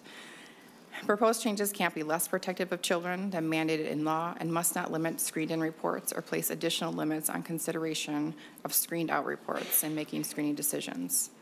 No county has requested local modifications to the state guidelines. Next slide. The screening guidelines focus on child safety, disparities, clarification for agency workers, and promote consistent practice. They provide information on how to collect in intake information and manage multiple reports upon intake, and what reports are urgent and require a 24-hour re response. The guidelines also provide information on allegation types and other considerations when making decisions on screening a report in or out. The guidelines provide substantial information for workers when using for workers to use when um, deciding whether to report uh, to screen a, uh, to screen in a report for family assessment, investigation, or facility investigation response path. After my presentation, I understand that county staff will walk through more of details on those response paths. Finally, finally, the screening guidelines provide guidance related to mandated reporters, who are the primary source of maltreatment reports to local agencies. Screening guidelines discuss who, when, and where reports should be made. Mandatory reporting include information is critical because this is at the point where disproportionality in child welfare begins. In recent years, the department has made improvements to the mandatory reporter guide, which is separate from the screening guidelines, and developed updated mandatory reporter training to address bias in reporting. There is a three-step process for local agencies when a report of alleged maltreatment is made. Intake, which is the process of receiving a report. Screening, which is the process of determining whether a report meets the state's, state's threshold for child protection response. And response path assignment. If the report is screened in, a pathway assignment is made based on the location of the alleged maltreatment, whether it happened in a family or facility setting, and the type of allegation. Next slide. To ensure child safety is paramount when screening reports in or out, workers or screening teams consider whether the allegations in a report, if true, describe circumstances that would meet the statutory definition of maltreatment. For a report to be screened in, it must include sufficient identifying information to attempt to locate the child or at least one member of the family, and the child maltreatment allegations must not have been previously assessed or investigated. Next slide. Reports can be screened out for a few reasons, including but not limited to the allegation does not meet statutory maltreatment criteria, there's not enough identifying information about the child or family, the same allegations were previously assessed or investigated. The case is not in the local agency's jurisdiction, which means that those cases will be referred elsewhere. The report does not allege child maltreatment in the child's family unit or covered licensed facility. In some cases, reports are re required to be sent to law enforcement. Screened out reports may also be referred to parent support outreach or other child welfare services for further follow-up. This graphic sh shows um, a dep depiction of the child welfare process. Um, on the far left shows prevention, Prevention is aimed at supporting families prior to report of child protection. To the right of the report, the graphic shows the child welfare process. Screening, screened in reports are at the top and screened out reports are on the bottom. Next slide. This slide provides information on date, uh, data on screening. The figures are from 2021. Preliminary figures from 2022 are essentially unchanged from 21 and will be included in our next annual report upon completion. You can see that the primary reason for screening out reports is that the allegation does not meet statutory threshold for maltreatment, about 90%. Determining whether to screen out to screen a report in or out is another point of the system where decisions are made that result in disproportionate overrepresentation of families and children in our child welfare system. 40% of white children are screened in versus about 50% of children of all other races. Next slide, please. The goals of child protection responses are to make child safety paramount and the forefront of decision making, Ass assess and assure safety of the child initially and ongoing during in involvement, gather facts to help decide if a child has experienced harm, and provide needed services, identify family strengths to help address risks and ensure child, child safety, affirm a family's cultural beliefs, coordinate and monitor services to families, including the use of trauma and culturally informed interventions, and promote child, children's well-being and, and permanency. Next slide. As noted before, county staff is here to provide more detailed information on family assessment and family investigation. At a high level, there are clear guidelines on which each should be used. Family assessments are designed to respond to reports that are, do not involve substantial child endangerment, sexual abuse, or situations of serious harm. Examples of appropriate cases are first-time reports of education neglect, unmet basic needs, or substance addiction by a caregiver who has acknowledged the need for help. Family investigations are designed to respond to the most serious reports of harm, neglect to, to children, including substantial child endangerment and sexual abuse. Family investigations may also involve situations where there's not serious harm alleged, but there are additional considerations or vulnerabilities that indicate the need for an investigative response. Next slide. The final slide includes links to a variety of policy and practice guides that were created in response to the 93 recommendations and are used to guide upfront child protective responses. They include the screening guidelines as well as best practice guides and resources. If you'd like to dig deeper into this work, you might find it helpful to review some of these resources. Next slide, please. Thank you very much for the opportunity to present today. Assistant, Deputy Assistant Commissioner Wahi and I are available for questions. Thank you so much. Um, I'm going to go ahead and take chair privilege and start asking my questions. Um, and I have a few. Um, first, if if it, you said that um, if someone has been previously investigated, it would be screened out. But is there a number where, for example, a, a situation has been reported 10 times or there have been a report of 20 times? I mean, do we have a threshold at which point we say maybe we should take another look? Thank you. Uh, I can address that question, um, Madam Chair. Uh, so if it's already been assessed or investigated means that the exact same allegation um, of the incident has already been assessed or investigated. So there, there may be ongoing reports of neglect or physical abuse, that are new allegations, now those would be potentially screened in depending on if they meet the threshold for statutory, um, according to statutory guidelines. Um, If there have been reports, so I grew up like two blocks from a different county. So let's say a family has reports in one county and then moves those two blocks. Do the fact that there is a history of reports, does that transfer? Is there any way for counties to know, like, hey, this has been an ongoing problem? Or does a family essentially kind of get a clean slate because we're on a county system? Thank you, Madam Chair. The SSIS, um, the Social Service Information System that um, county workers do use um, does display information from county to county. So there are some limitations in, in which you have to request access um, to certain case details, but they are visible, and the, the county perhaps will be able to, the county workers may also be able to describe that a little bit better. Okay, thank you. Um, Within the screening guidelines, because we kind of have an, a, a, a track that's a little more in assessment and one that's more of an investigation, is there anything that would trigger a, this must always have an investigation, like sexual abuse? Or is it possible that even what I would consider serious allegations could end up in an assessment track? Thanks for the question, Madam Chair. Uh, Like I said um, during my presentation, all allegations of substantial child endangerment, serious injury or harm, and sexual abuse reports will have to be initially screened um, for an investigation, and the system, our SSIS um, information system, will enforce that as well. Thank you very much for going with all of my questions. Um, On page 19 of your slides, uh, the report goes into the screened in and screened out.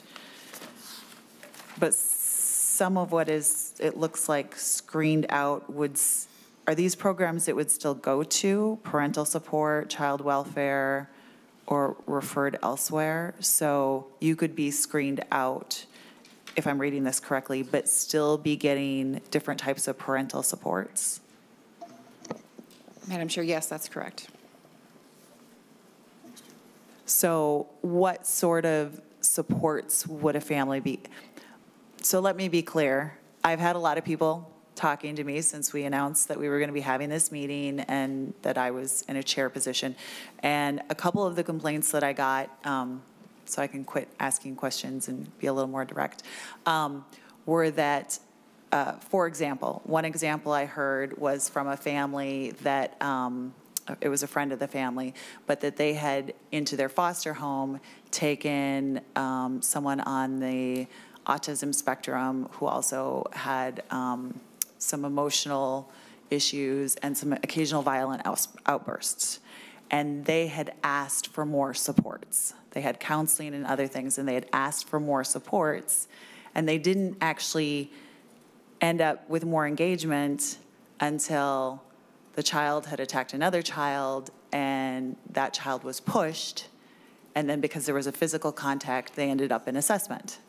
And they were like, great, we just want more supports. Please give us the additional supports so that we can, you know, maintain our family. We don't want this to happen. And they didn't get any additional supports. They ended up in assessment, which again, it was physical, so maybe that should have been, an investigation, but they didn't actually get the supports. And what I would hate to see happen is a disability child removed because they'd wanted supports, and now they're in a foster family, but they've faced trauma from being removed, and now they're getting the support that we could have given the original family over here, or things of that nature. Um, But what I am hearing is that families aren't always, whether it's the original family or the foster family, families aren't always getting the supports they need. And so sometimes these cases are escalating to the point where we're now in a more severe phase. Can you speak to that at all? How we can do a better job of supporting families through this process?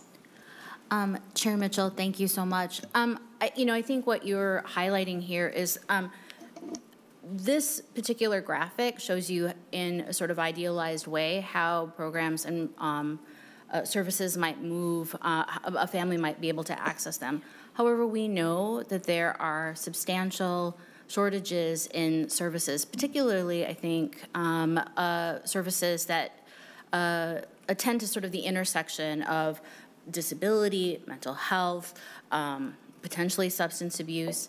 And I think um, we know that access to those services is also um, uh, not the same in different parts of our state, right? So oftentimes, I think you also have a child welfare workforce that wants to make sure, uh, wants to create access points for families to get services.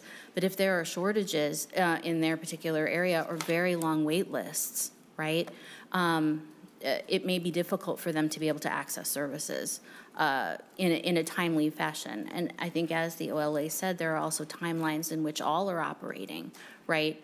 Um, and so I think that that's just one, I mean, it's an aspect of the system that I think we grapple with all the time. And, um, you know, this uh, graphic shows you sort of how ideally the screening process and um, if a report is screened in and screened out moves. But I think the reality of it is, is that access, access to services is a much more complicated um, uh, strategy than it would seem.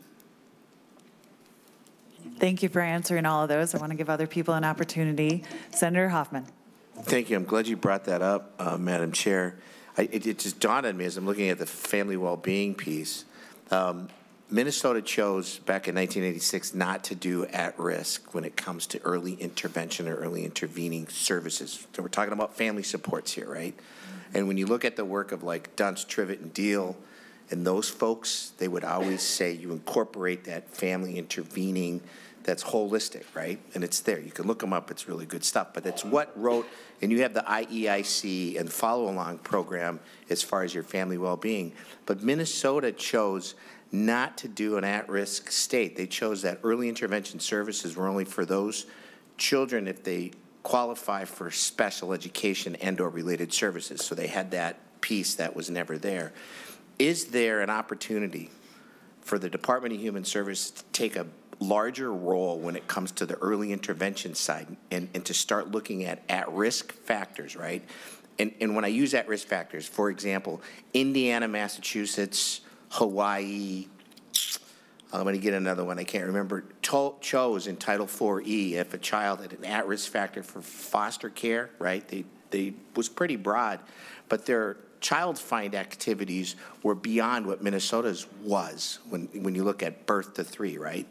And Minnesota got in trouble from the feds for not identifying children that needed early intervention services birth to one, right? They were cited for that. This is 15 years ago. Why am I remembering this stuff? I don't know, but I am. But my point to you is this, is it perhaps time for us to take a, a, a process back and look at our early intervention access points, right? And you got them all. Kids First, early intervention services, Head Start, early Head Start, all these different access points that are all family centered when it comes to a child in the, in the whole piece. Is it perhaps time that we take a look at that again from a systems perspective and say, why aren't we looking at those risk factors, right? Indiana, I'm going to give you that one. They had these single points of entry for years that were access points for families and when they did the at-risk, and their child find activities were 4 to 7%. If we did 4 to 7% in Minnesota for child find activities, which would get people the supports and services they need, right? It's not mandated, right? It's, it's up to the families to decide. You would see a trajectory of less people needing those services as they go on and on. So am I making sense to you when I talk about that systems conversation? Um, yes, um, uh, Chair Mitchell. Um, uh, uh, Senator Hoffman. Uh, yes, I mean, I think we would be strong proponents of early intervention access. Um, I, I, did want to uplift that uh, we recently submitted a report on the connection between foster care and early childhood, um, uh, the legislative report. Um, so I think it is definitely something that the department is looking at. I think um, also uh, Family First Prevention Services Act really allows us to take a look at both um, how can we um, attend to the continuum far sooner than any um, uh, the need for stronger interventions because more serious um, things have happened. Uh, our implementation of Family First has allowed us to take a look at that. I will also say this last legislative session, we were able to really um, identify a number of early intervention efforts, not just in child welfare, but across the human services continuum, right? Investments in concrete supports like childcare, uh, housing, food security, right? Because all of those things make a difference, and particularly for the littlest ones, of course, but I think for all children and young people. But I think it's certainly an interest of the department, um, particularly. Uh, and when we know that there is such a strong tie between neglect um, reports and poverty, right? It, we would be remiss not to be looking at the intersection of concrete supports in that way. Thank you. Um, For little ones. Madam Chair, as a follow-up. So- Um, Yes, I I would like to say, I think that's an excellent point, and I, I look forward to seeing how that goes down the road, because we did invest in, you know, school lunches, more resources for food shelves, more home security, child care access, early childhood, and I think those things, when you uh, take some of those stressors off of families, we have better outcomes down the road when they're able to access those pieces. Yes. I'm glad you brought that up, Madam Chair, because in 1986, the law that said to states, pick your early intervention services, they told the states to be comprehensive, coordinated, and collaborative. It's in, it's in federal law, right? And it's what we're supposed to be doing. And so you bring up the education piece. I think it's also an opportunity for us as we look at this, and, and the folks, uh, when Senator Kreun and I did talk to our folks in Anoka County, they also brought up the fact of where is that conversation of the collaboration between education and human services and, and really meaningful, purposeful collaboration on that. And I, I would really like to see how that conversation rolls out. And I think you're, you're spot on and, and how do we make that, these systems seamless, right? Because families or anybody involved in a systems approach should never worry about, well, which agency do I have to go to? Which one am I going to qualify for, right? No, it should be access points, and I like that point. That's what it, it brought up, and then when you see the family well-being, it all makes sense, so. And there was a book back in 1992, it was a family, it was Supporting and Strengthening Families, it was Dr. Carol Trivette, if anybody wants to look it up, it's actually a good read, so goodbye. Okay. Um, Yes, Representative Mueller. Thank you, Madam Chair. Appreciate that. Uh, Thank you, DHS, for being here. Um, I did actually want to ask a question, as we have been, uh, I have been on the task force now since the very first convening of this, at the beginning of, or in the summer of 2022. And so um, I did, at that point, did receive the March 2015 task force uh, recommendations. I was not on that task force at that time. There were 93 recommendations from that, and I wanted to know, I don't remember ever seeing uh, a report of seeing how these had been implemented. So if you could uh, uh, let me know how many have been implemented at this time. I did hear you talk about because of the 2015 task force, we had changed some of our screening processes and screen in and screen out.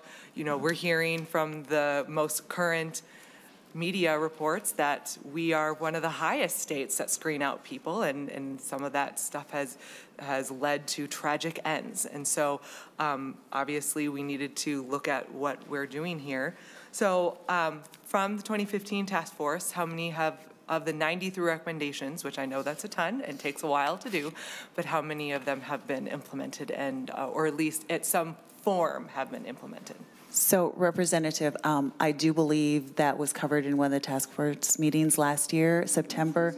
Uh, Chair Pinto, um, And Madam Chair, not to, and and um, just to, just to note for Representative Mueller and also, actually the most recent meeting of the task force, the final one in that series, um, there was a presentation by the agency on um, the, uh, at least I believe that there was, on the, um, uh, the um, task force recommendations from 2015. Um, And that's, it's included, if you look at the me- meeting materials of September of '22, it was kind of included in our meeting materials. So in any case, I mean, they may have more to add, but just to make sure to clarify. yes, so if, if you have anything to add, but um, obviously So- this was a, like an hour-long presentation and. Madam Chair We have, and Chair, Chair Pinto, thank you so much. I, I, I do see it in my notes because you know me, Chair Pinto, I keeps crazy notes. And so I do see it, I, I do see of areas that I have looked at. I didn't see a specific number, which is, again, that's how that works. But this is also from 2022. And hopefully from then, we've had more that has been implemented. That is at least the hope. So if we have an update on that, that would be fantastic. Thank you, Chair, or Madam Yes. Chair. um, i- if you have any response to that, and um, uh, just in general, I would like to keep kind of the rest of this to maybe only five or 10 minutes, um, because I do want to give time to our last presenter today. Thank you. Thank you, Madam Chair. Um, Representative Mueller. Um, uh, Yes, the 2014-2015 uh, Governor's Task Force on Child Protection issued a report that included the 93 recommendations. Um, Recommendations cover um, uh, maltreatment report screenings, investigation, family assessment, racial equity and disparity reduction, training, oversight of county performance, transparency, and uh, the adequacy of resources. Um, You know, I think the department has made a number of um, of, uh, has made significant progress in a number of areas. Uh, I, just very briefly, for, the- in the interest of time, um, I think we have heard today about the screening guidelines and uh, that body of work. It represents a pretty significant shift for us here in the state, and we continue to uh, implement some in those areas.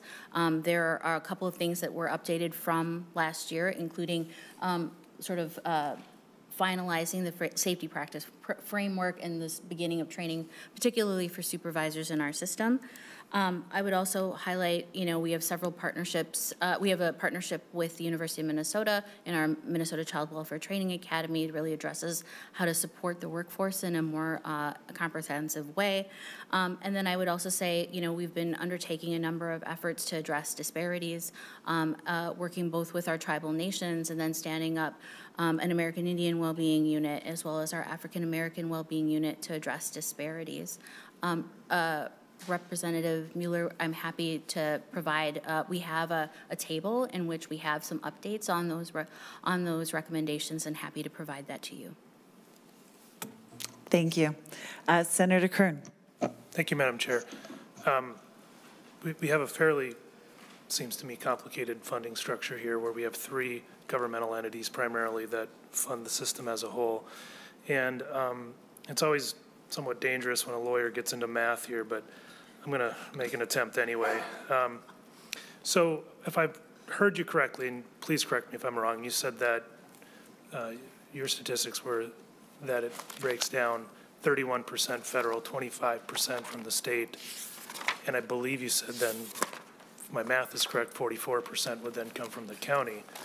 Um, And if I am correct on that, that, those percentages uh, differ from um, testimony of the OLA just made earlier today, which had 53% coming from the county, 23% from the federal government, 21% from the state. Now, the OLA's numbers are from 2019. I don't know where your numbers, but can you explain the difference, um, if I'm correct, number one, and if I am correct, what, what the difference is? Um, Ms. the- Wahi. I'm- sorry, Madam Chair. Um, Yes, uh, Senator, um, we, uh, the information that we got was from a report um, conducted by Child Trends. Um, And it was uh, a- an assessment of sort of like the sort of breakdown of state and local and federal funds.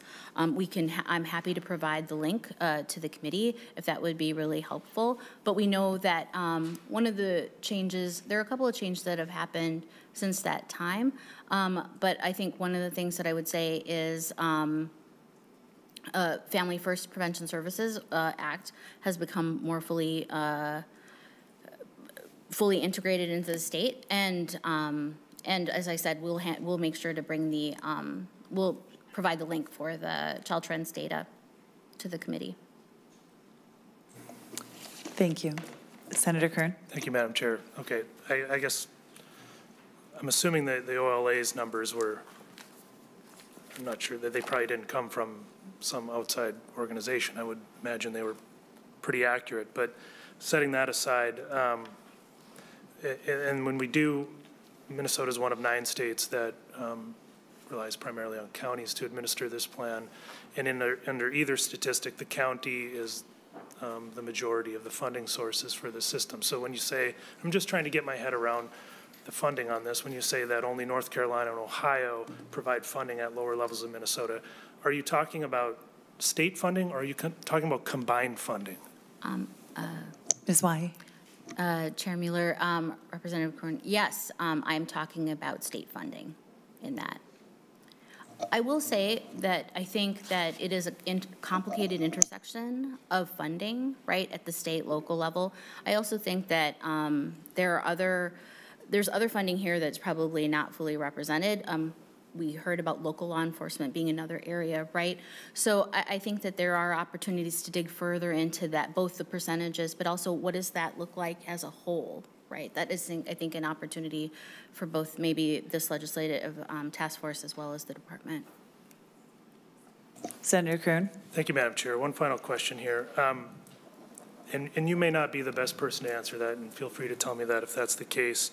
Um, I know we're, we're here talking about intake, screening, and response path guidelines, but uh, given what's going on in the news, I thought I'd ask this question of you, and, and uh, perhaps it's better asked to our next person or someone else, and you can tell me that. But um, the news stories uh, seem to indicate that, um, they intimate anyway, that um, caseload for uh, social workers or case managers, if you will, um, are above the recommended, recommended level from the last 2015 task force, which is, I believe, 10 um, active files at any given time. And the news story talked about how anecdotally it seemed to me that some case managers had upwards of 20. And I'm just wondering how we get hard data to know what the actual number is statewide on average. If you have that information, um, it seems like we shouldn't be shooting in the dark here. We should be working with actual figures and know what that number is. And I'm just wondering who the best person is uh, to get that information from. Thank you. I think Ms. Wahi?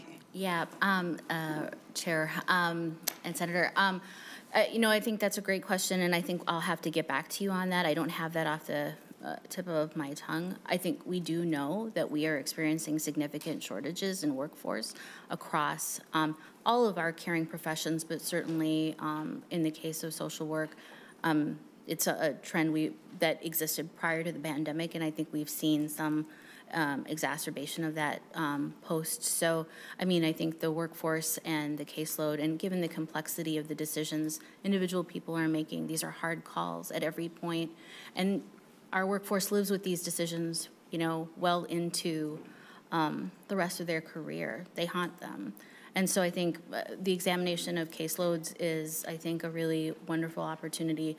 Uh, as the commissioner mentioned, we'll be hosting a meeting with um, uh, Chinese, uh, county welfare, uh, child welfare staff, uh, I think, to, to gather more information and are certainly um, in close conversation with our county partners as we continue to, to dig in.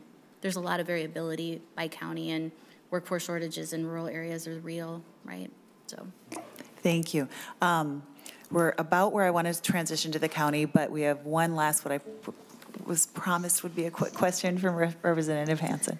Thank you, Chair, and thank you for being here. As some of you know, and I'll just answer a question that was that came up about the numbers. I've been working really closely on monitoring the number of social workers that we are short in the state of Minnesota. We're presently about 16,000 social workers short in the state of Minnesota, and that is growing as we continue on.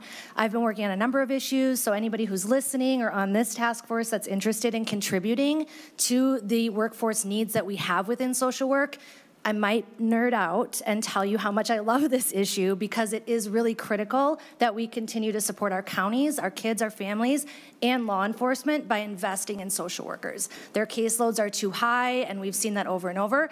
We also um, authorized a study last year to look at the SSIS system to make sure we can do a paperwork reduction and so that it is not as complicated, so across county systems and so on and so forth. So these are conversations that are happening within the social work community at least, and I would invite folks to continue to join us in that. These workforce issues will not go away. Uh, we will be pursuing, you know, adding them to the workforce grant program on the higher education committee this year, looking at paying for internships, looking at title protection, looking at making sure we make that licensure exam more accessible. So there is a lot of work happening, and this is the open invitation to this task force and the public to reach out to me if you have more questions about that. Thank you. Thank you, Representative, and thank you for the number. Um, Thank you both for your time. Um, I appreciate you being here, and at this time, I would like to call up our county representatives, um, Stacy Hennen, uh, the Director of the Western Prairie and Traverse County, um, to kind of give us that county-level perspective on how all of this is working.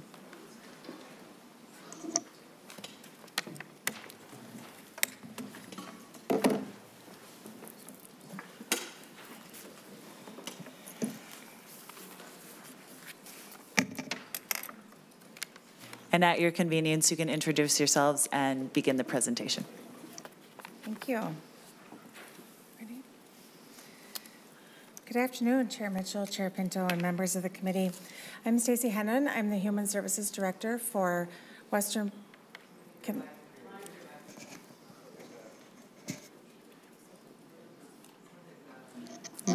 Maybe just get closer to it? I don't know. I can try that. Does that help?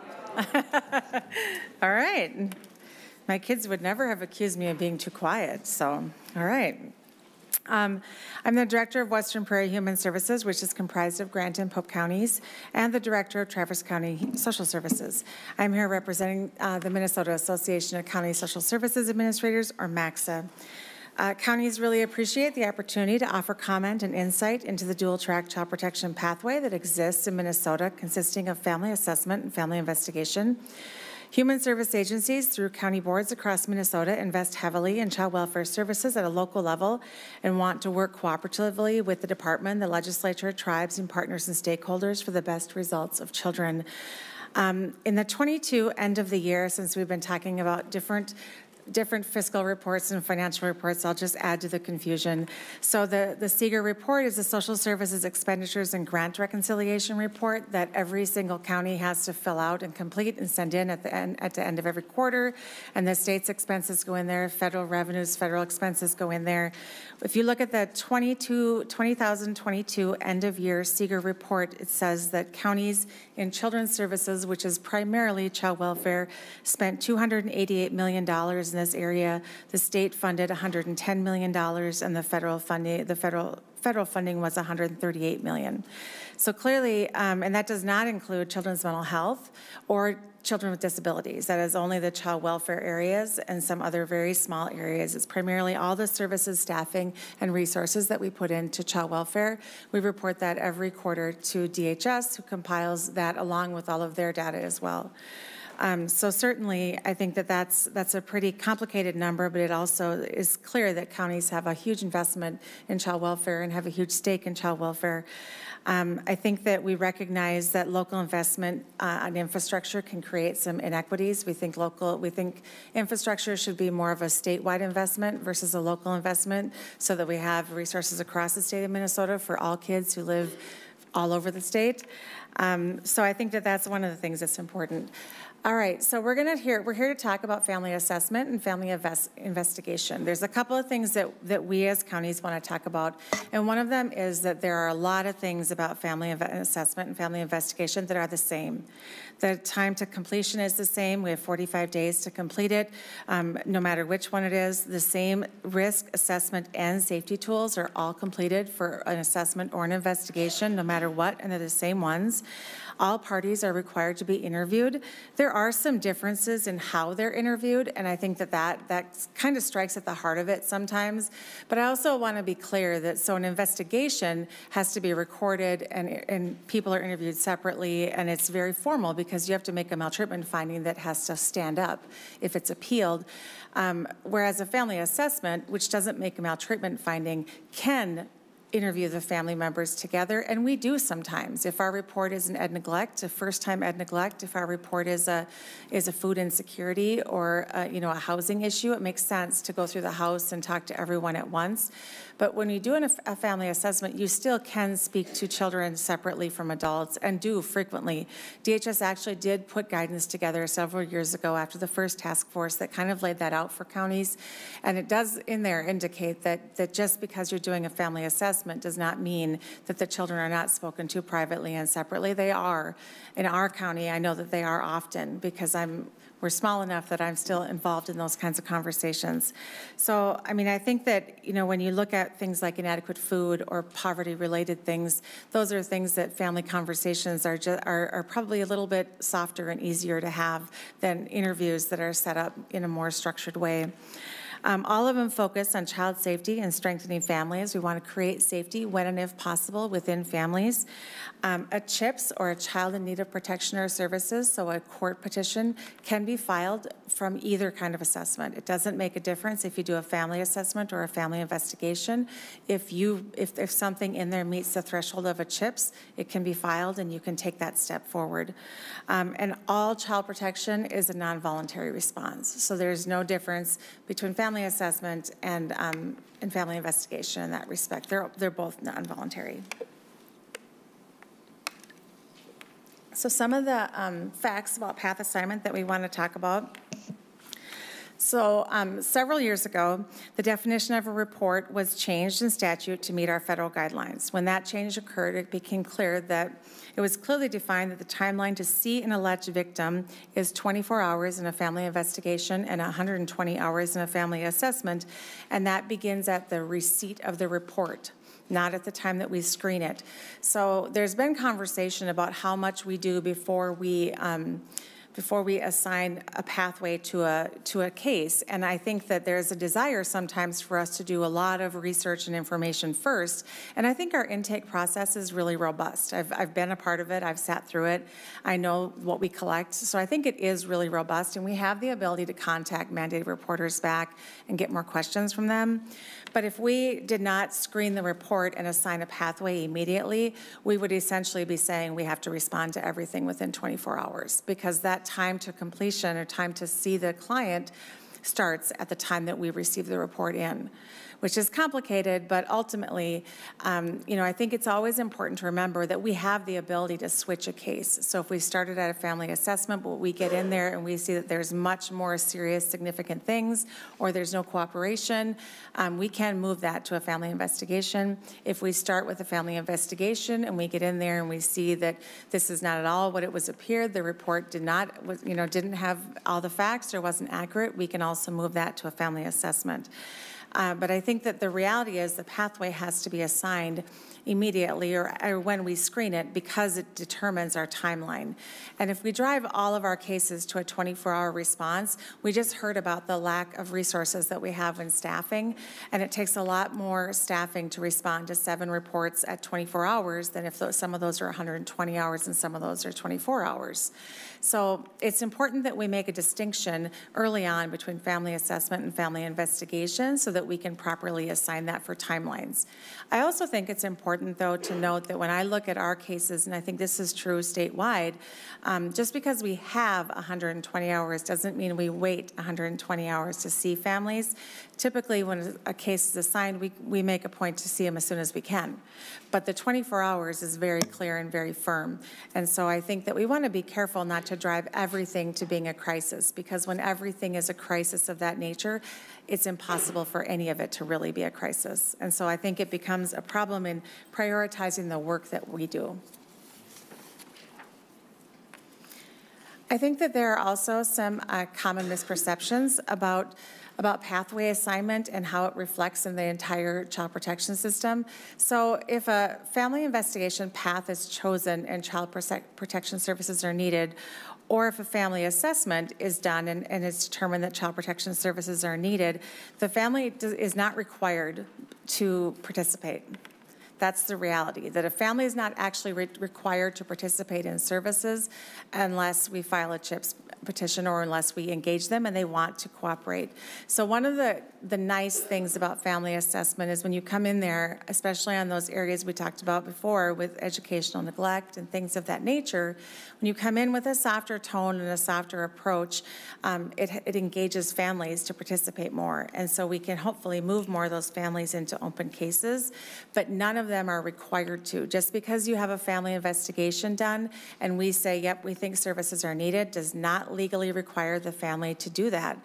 Um, the reality is, the only way we can legally require it is to file a CHIPS petition. And that's always at the discretion of the county attorney's office. So I'm gonna, I'm gonna explain something. I, I actually had the privilege of serving on the initial task force for the child protection, or the governor's task force. So I've, I've had this conversation a lot of times. And I'm gonna explain something that I've explained a lot of times, is the task force really focused on intake and screening and pathway assignment, right? So if you look at child protection as a funnel, it focused on the top of the funnel, which is, is really, um, it's, a, it's very important. Who enters our system and how they enter our system is really important. But what it didn't focus on is the bottom part of the funnel, so the part where you file a CHIPS petition. So the CHIPS statute was not substantively changed. Recommendations were not made. It wasn't assessed or looked at. Um, none of those things were looked at. So what you ended up with was widening the funnel at the top quite a bit, but leaving it in place on the bottom.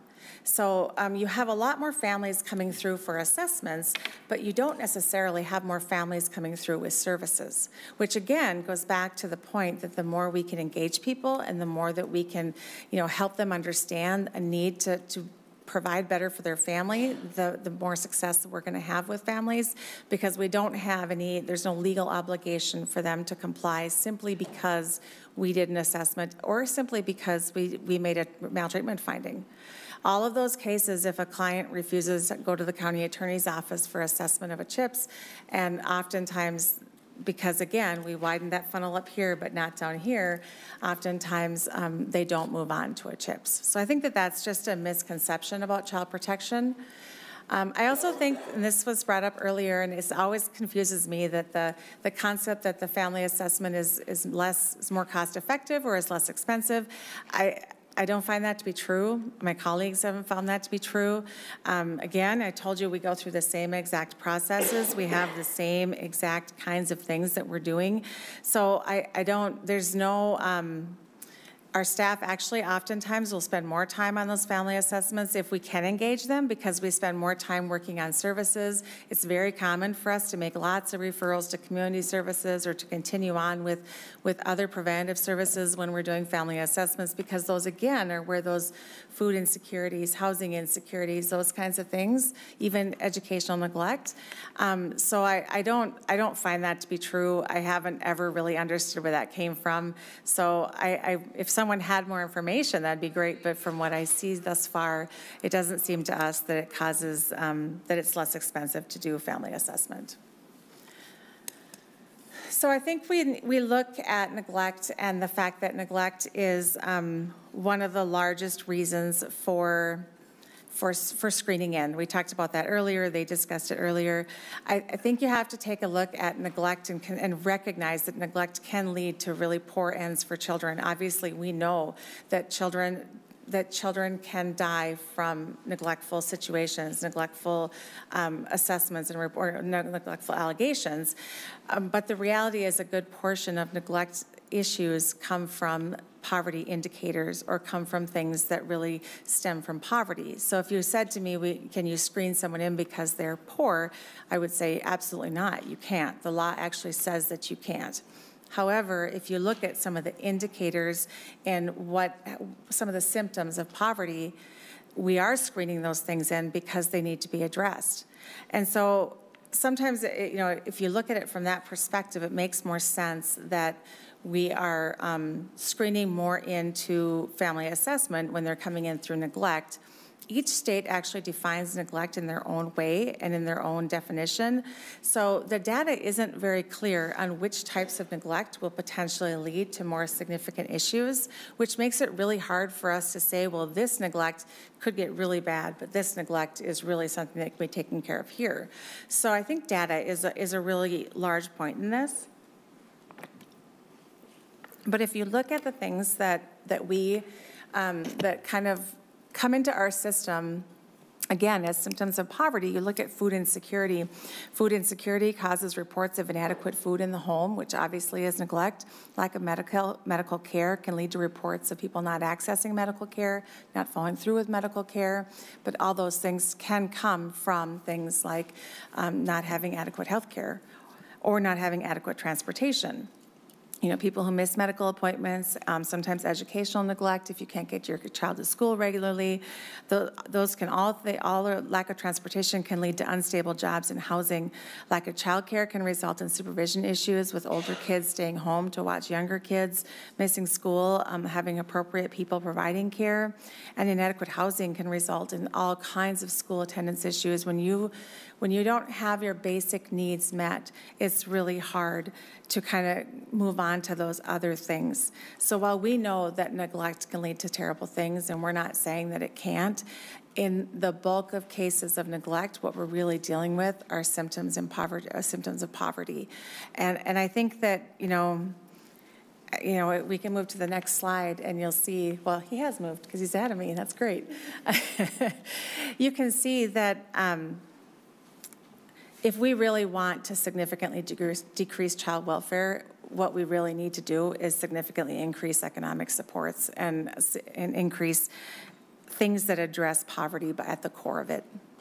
And I'll tell you that you'll also address some of your disparities, your racial disparities in that way as well, because we know that families of color live in poverty more often than families that are that are not families that are white. So I, I all of those kinds of things, if you look at that parental resilience and social connections, knowledge of parenting and child development, concrete supports in times of needs. These are things that make a difference between the families that enter into our system and the families that don't enter into our system. So if you have if you have adequate food and adequate medical care or specialized medical care, legal services, housing assistance, if you have access to all of those kinds of things, you're less likely to enter into the child welfare system. Um, predictors of child welfare involvement are income loss, housing hardship, cumulative material hardship. I would take the, this a step further and say that, that if you address poverty, you will see a decrease in things like domestic violence, chemical dependency, all of those kinds of things that stress families out and that cause stressors on families also cause some of those things. So if we re really, as a state and as a nation, want to look at how we systemically improve child protection, we would look at how we address poverty because poverty is, is one of the biggest indicators of who enters into our system and who doesn't. I do think, and I think it's really important to note that um, the legislature made lots and lots of very good investments last year in, the, in, this last session that we think are positive and we think will help children in poverty. And so that, you know, I think that how that bears out in future years is yet to be seen, but we would certainly support continued efforts like that, continued advances in programming like that, because we think that when children are, are fed and have medical care and their parents are also fed and have medical care, that all the way around families function better. Um, I think it would really be remiss if we did not, counties would be remiss if we didn't talk about racial disparities in our system. Uh, we know that Minnesota has some of the highest racial disproportionality in child protection and child removal in the nation for people of color. Um, child protection screening guidelines were moved into statute after this after the governor's task force, and that does eliminate most professional discretion that we can make in areas of screening. And sometimes I, I think there's probably that, that can be a good thing. However, where it does not help us necessarily is it doesn't take into consideration the bias that exists in reporting. We know that children of color are three to four times more likely to be reported on than children who are white. And so when you take that and you look at the guidelines that say, well, if they're reported on three times or four times or five times, you have to screen it in. What we're really saying is that those racial disproportionalities are going to increase. I will say that, that 10 years ago, counties expressed that concern. We said we have concerns that these changes, some of these changes, while very good intentioned, and, and we understand that, um, they, they, they could increase racial disparities, and they have increased our racial disparities. Professional discretion is one of those things that allows us to take a look at those reports and say, those are reports, yes, we've had five or six reports, but let's look at the bias that came into that reporting. When you look at the child protection system, you can't just look at the county social services system. You have to look at all of those people who bring into that system and feed into that system, all of those entities that report, so all of those mandated reporters, healthcare systems, schools, um, all of those kinds, law enforcement agencies, all those kinds of things. And we, we need to be spending our time doing more training and more education on, on racial bias and on, we need to look at systemic bias and systemic racism if we're really going to take care of and address the racial discrimination or the racial disparities that occur. Um, so I think counties are only one part of the child protection system. Addressing bias and reporting and systemic bias is crucial to ensuring people aren't inappropriately captured in our system because of their race or, those, or their socioeconomic status. So all of that being said, um, counties have a lot of thoughts on what we would like to partner with you on and what we'd like to do to change the system. Um, we, we believe that everyone working together is a powerful way to work towards protecting children in Minnesota, and we believe that that's something all of us want, that our goals are the same in that so some of those things would be increased funding and building out of an infrastructure of services. So I think these are things what we've talked about before. Um, that I said earlier, these are things that when the state does these, there's more equity in where they've done. When you rely on local resources to do some of these kinds of things, you run into all kinds of issues that, that address that. And part of that is just their ability and their, their ability to garner and, and harness the type of services and the type of providers needed isn't as great as it is when the state is doing it as a whole. So family resource centers, robust parenting programs, expanding our, our parent support outreach or our voluntary services to older kids, expanding current preventative programs to be used with older children, access to appropriate chemical dependency treatment. And I, I, think the last one is near to my heart, embedding successful models like collaborative safety within counties. The last task force, one of the best things that the state of Minnesota did was they brought in collaborative safety to look at our child mortality reviews and collaborative safety as a model is a really good way to, to look at child welfare. Instead of looking at it from a perspective of blame, it looks at it from a perspective of what are the, what are the policies, what are the practices, what are the processes. Um, when we talk about our workforce shortage, it's, it's even harder to get people to do this work if they feel personally accountable every time something happens. If they feel like they they made a mistake or they did something wrong instead of a system that just doesn't quite work in a way that that helps us get everything we need to get done done. So i think that collaborative safety is a powerful tool that we could use um, we also think that that leads into building a sustainable workforce. So the more experienced, diverse staff we have, the better we're able to practice um, I think to do that, eh, you know, we really need to focus on things like retention, education and resources, um, thinking about secondhand trauma for those workers who are out there doing this very difficult work. Those are all areas that would help with our retention. Um, I think we want to look at incentives. We need to, you know, go from the very beginning to the very ending. So incentives for people to pursue social work careers and appropriate education pathways for that. Partnership with higher education to recruit candidates, funding to reduce staff caseloads. I want to talk uh, just briefly about the the number, the caseload numbers. So when you talk about a caseload number in child protection, there's, there are some reasons it's really hard to quantify it. One of them is that in child protection, a case is the family. So I can have a worker who has 12 cases, but one of those cases might have six children.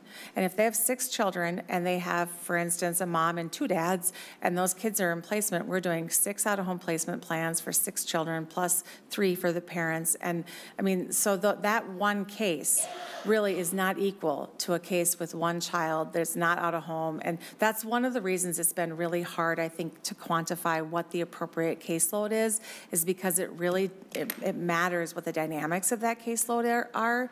And I think in, in larger counties, they may be able to separate them out, specialize them more, but in smaller counties, there's just not the ability to do that. We don't have that many people. So I think that, you know, funding to reduce staff caseloads, embedding self-care, um, the bottom part really struck me that an estimated national average turnover for child, for child welfare workers is approximately 30%. So tell me what organization and what company can run when 30% of your workforce is turning over every year. What we are always doing in child welfare is hiring, is training, is, um, is recruiting and working on retention because 30% of our workforce is turning over on average. Some places it's higher, some places it's lower. And all of those things we talked about ahead of those, things like um, secondhand trauma, caseloads, all those things play a huge part in, in that. Technology investments. So um, we've talked about our statewide system of technology investments, and I, th I think that good, da good data helps support timeline decision making. Um, the more we can see data, the quicker we can see it, the more we can monitor trends, the more we can support our workforce, the quicker we can see where we may be needing to change how we're doing things and change our adjustment. You, you see that, that October, in October, I believe the 2021 report came out because we don't have a data system that has real-time data reporting. We don't have a data system that was created to do the kind of data we're asking it to give us now. It was really created to do much more basic things than, it, than what we're asking for it to do. So I, I think that we, we absolutely believe that data, better data leads to an ability to determine your course and path with facts. And we would be very supportive of having data, of having SSIS be updated or changed, whichever the state and the counties decide to do do. Um, I think that a couple of the things that we would need to look at how to capture in those are reporter bias, stigma with racial and economic disparities, all of those things. If we had better real-time data, we could track those things better, we could respond to them faster, and people would be treated better in a quicker time. So more funding for preventive care. We know preventive care works. Chapin Hall research shows that families with screening reports who are sent to family assessment are more likely to receive those concrete supports. Earlier, we showed those concrete supports are one of the leading reasons, or lack thereof, are one of the re leading reasons that um, families end up coming into our system. Um, I think that families with open child welfare cases who receive home-based services are less likely to experience child maltreatment reports and children experiencing housing insecurity that receive supportive housing programs experience fewer removals and lower prevalence of substantial maltreatment, substantiated maltreatment, sorry, and increased reunification. Access to, to affordable childcare, and while I think the legislature made tremendous steps in access to affordable childcare, the, the one piece that we have yet to figure out is how to get more people to do that childcare. Now we have the spots sitting in our um, child care assistance program. We were an entity that overspent for years and years, um, and now we, we, we were funded by the state, which we appreciate, but now we don't have the providers to provide the care. So you have the same kind of issues that come up there. So before we talk about this particular um, graph, I want to be clear that, that everyone would like to see zero deaths, that that is absolutely what we would like to see for children. It's tragic when any child dies, um, not just to those that love them, but to those that did all the care for them and the professionals who worked with them and their families. Um, hindsight is always 2020, and the path always seems obvious after the fact. Um, the reality is there are so many complexities to human beings, to families, and the system that it's impossible to predict when or if a tragedy is going to happen. In many cases, um, assuming negligence instead of concern, considering system issues is one way to ensure that we're going to continue to go around in the same circles. Um, it goes back to that conversation about collaborative safety, that if we look at something from a system issue instead of a person issue, we're more likely to come to the result instead of just assuming that accountability, that blame equals accountability, because we know that blame it doesn't equal accountability. Uh, the national statistics are not meant to say that Minnesota has no work to do. They're meant to demonstrate that our rates are not abnormally high when you compare to other states in, of similar population. True analysis of data is difficult since each state has different ways of gathering um, and defining issues, but raw numbers should assure us that while we have work to do, we are also doing good work. And I think we need to look at the tragedy of a child's death and try and learn from that. We also need to recognize the professionals who are working hard in a system that's under-resourced and understaffed to protect children. No case manager comes to work to wanting to see the kind of tragedy that occurs when a child dies. It's devastating. I've seen that. I, have seen it in staff. I've been a part of those unfortunate issues. One way to help keep people in this field is to recognize that and listen to those doing the work and hear what they're telling us we need to do. So in closing, um, the fact that we can't make true data comparisons should tell us all to be careful making assumptions and to invest in data recording and entry so that we can let the data guide us. We need to look through a collaborative safety lens, which would say that if we recognize that data, policy, and systems are the issue and not individuals, that the people working in the system may feel safer in telling us where we need to make changes and what Minnesota children really need. When we don't recognize that people are doing the best they can, we can contribute to the already daunting staffing issues we have throughout the system. And accountability, again, does not equal blame. Blame is the easier of those two to find. True accountability means assessing our systems and investing in those systems with a critical eye so we can work together to ensure child safety in Minnesota. Um, I thank you for your time, and I would stand for questions. Uh, Thank you for your report. Um, We officially have 10 minutes left. Um, I'd hoped we'd have a little more time for questions. Um, I'm going to start with, I, I agree with you that we need to find safe families support unless kids will fall through the cracks. But there are also some egregious cases out there. And cases where it's not even like Monday morning quarterbacking where you look at it and say, how on earth did this happen? And so when we have one of those cases where there have been multiple reports and a child isn't removed and is in an unsafe situation, uh, if we have a mortality case or a near mortality case, what sort of review are we doing to make sure that we are assessing why the process did not work correctly? So Minnesota redid their child mortality review um, after the task force, uh, and, I, and they can certainly speak to it better. I can speak to it being part of our regional ones. We do take those cases and we um, we look at all of the data that was involved in them. We look at all of the child protection reports, because here's one thing I will say is, is to say, well, they had 10 reports, so we know that that means that something should have been done. My question is, what were those 10 reports for, and how many of them were the same incident?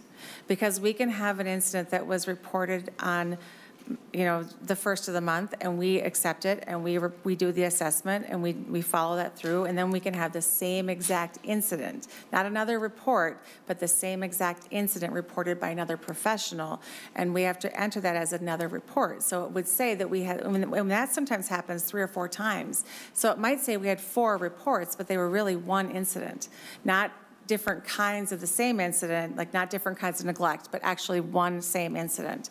So just looking at numbers of how many reports doesn't necessarily give the entire story because of how our data is, is again, how our data is not really well recorded because it's not set up to do that. So I, I think that the, the child mortality review that we, we currently have really does look comprehensively at everything. They look at the child welfare system, and they look at this. They look at the individual agencies' processes, their screening processes. Did they meet staff? Stat, did they meet state statute when they looked at how they screened? Um, what's the? They go back to the entire history of the case from the very beginning. So even if that the case had a different child in that family five years ago, they go back to that and they review all of it. But they review it with an eye for what systemic things are here because it's never just one person or one worker that made those made every decision. There's all kinds of factors that went into it. So they do review that and they go back with recommendations. Um, and those come out, you know, the state accumulates those and they, those come out. I can I can tell you, having said on our regional one, the value for me is more in that conversation that we have regionally when we have situations like that. We talk about where resources could have been better or we could have beefed them up more or what screening screening practices we're using, or you know, what was the second story behind why that was screened out? And let's look at that and talk about that. Um, so I, I think that the the child mortality review process has actually been fairly fairly good in the last 10 years. The timing of it can be difficult because those egregious cases often involve criminal charges, and we, we simply can't move forward with those child mortality reviews into completion if there's an active criminal charge. So sometimes the timing, you know, is it takes a while to get them, but we do the the assessment that's done that I've been a part of have been very thorough and robust. Um, and I will give everyone else time too. Uh, my other question is, I have personally seen cases of return of child children going back to um, the parent that was removed Mm-hmm. that made me raise my eyebrows. Um, where I didn't, especially with drug use, where I didn't necessarily see that there was ongoing, like checking in, because if someone is clean now and doing a good job now, that's wonderful, and that would be the goal. But especially when there's a history, you don't know when that goes wrong. And now if no one has eyes on anymore, that's a very dangerous situation. And I've personally seen this. I, I would agree that we have, so the, the reality is, is that um, addiction is a disease and relapse is a part of addiction. That, that that's just, that's a hard part of it. Um, the, the hard part is when do you, when are those court-ordered services stopped? Because we, we can't, I think that judges and court systems would have a hard time maintaining caseloads if we kept those cases open until kids were had their own protective factors like 12, 14, 15, 16, or even until they're 18. Um, and so part of what what we try to build into those discussions and those conversations with parents is what is your plan for, for if you relapse? What is your plan for addiction? What is, I don't think we can treat addiction like it's a one and done kind of a thing. Um, I think it really does have to be looked at on a continuum. And what, what are you going to do the next time this, that you feel like you're going to use or you might use or where are your kids going to go and how are you going to look at protecting your kids and what safety plans and what safety factors in, are, are there for you? I think that's a more realistic way to look at it because otherwise, you know, based on, on how what we know addiction looks like and what we know relapse is like, we would have to remove every one of those kids and just keep them out, out of home forever. And that's not, we know that isn't good either. We know the statistics on children that age out of care are not good at all. So so instead, I think we should be focusing our time on strengthening those families, talking to them about about what point to come back into us and talk with us more. At what point we can help you more, um, and at what what are your community factors? What are your safety factors? And how can we create more of those in our community? How can we create more mentors for parents as they exit it out of our system? How can we create a more robust chemical dependency system that involves community supports for people? Because I don't think we're ever going to stop people from relapsing. I think it's part of addiction, but what can we do to help them keep their children safe if and when that happens? I think that's a more realistic conversation to have. And I'll tell you that, that the only way to get families to have that conversation with you is to approach it from a way of, of being honest and recognizing that addiction is a disease. And we understand that you love your children and your relapse doesn't mean you don't.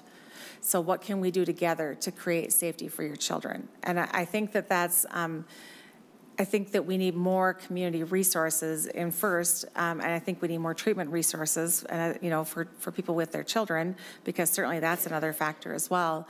But I, I think at some point, we have to let go if people are doing what they're supposed to be doing. The, the law doesn't allow us to just hang on to families in a court-ordered action forever. So what we should be doing is preparing them for that time by, by connecting them with community supports. I think that's what our workers try to do. We, we have significant lacks in our community supports, though. So again, that infrastructure of services should absolutely include that on the continuum, and we should allow our communities and the communities that, that, our, that the people we serve come from, um, allow them to help them through those things. And I completely agree that we fail in, in what we're offering in terms of addiction in the state of Minnesota, and that's a huge piece. Um, but do we differentiate? Because I haven't seen that we do, so maybe you can tell me something differently. When it's a child who is so young that they can't verbalize to someone else if something is going wrong, or that they cannot feed themselves if someone is suddenly forgetting them. Do we treat that differently? I, I have not seen that we treat that differently, which concerns me when a child is too young to advocate for themselves in any way. So I think that we, we do, in my experience, we do with our safety plans and our protective factors and looking at what our protective factors are and looking at, at again, you're right, I think that there's a difference between children who have the ability to to create some of their own protection.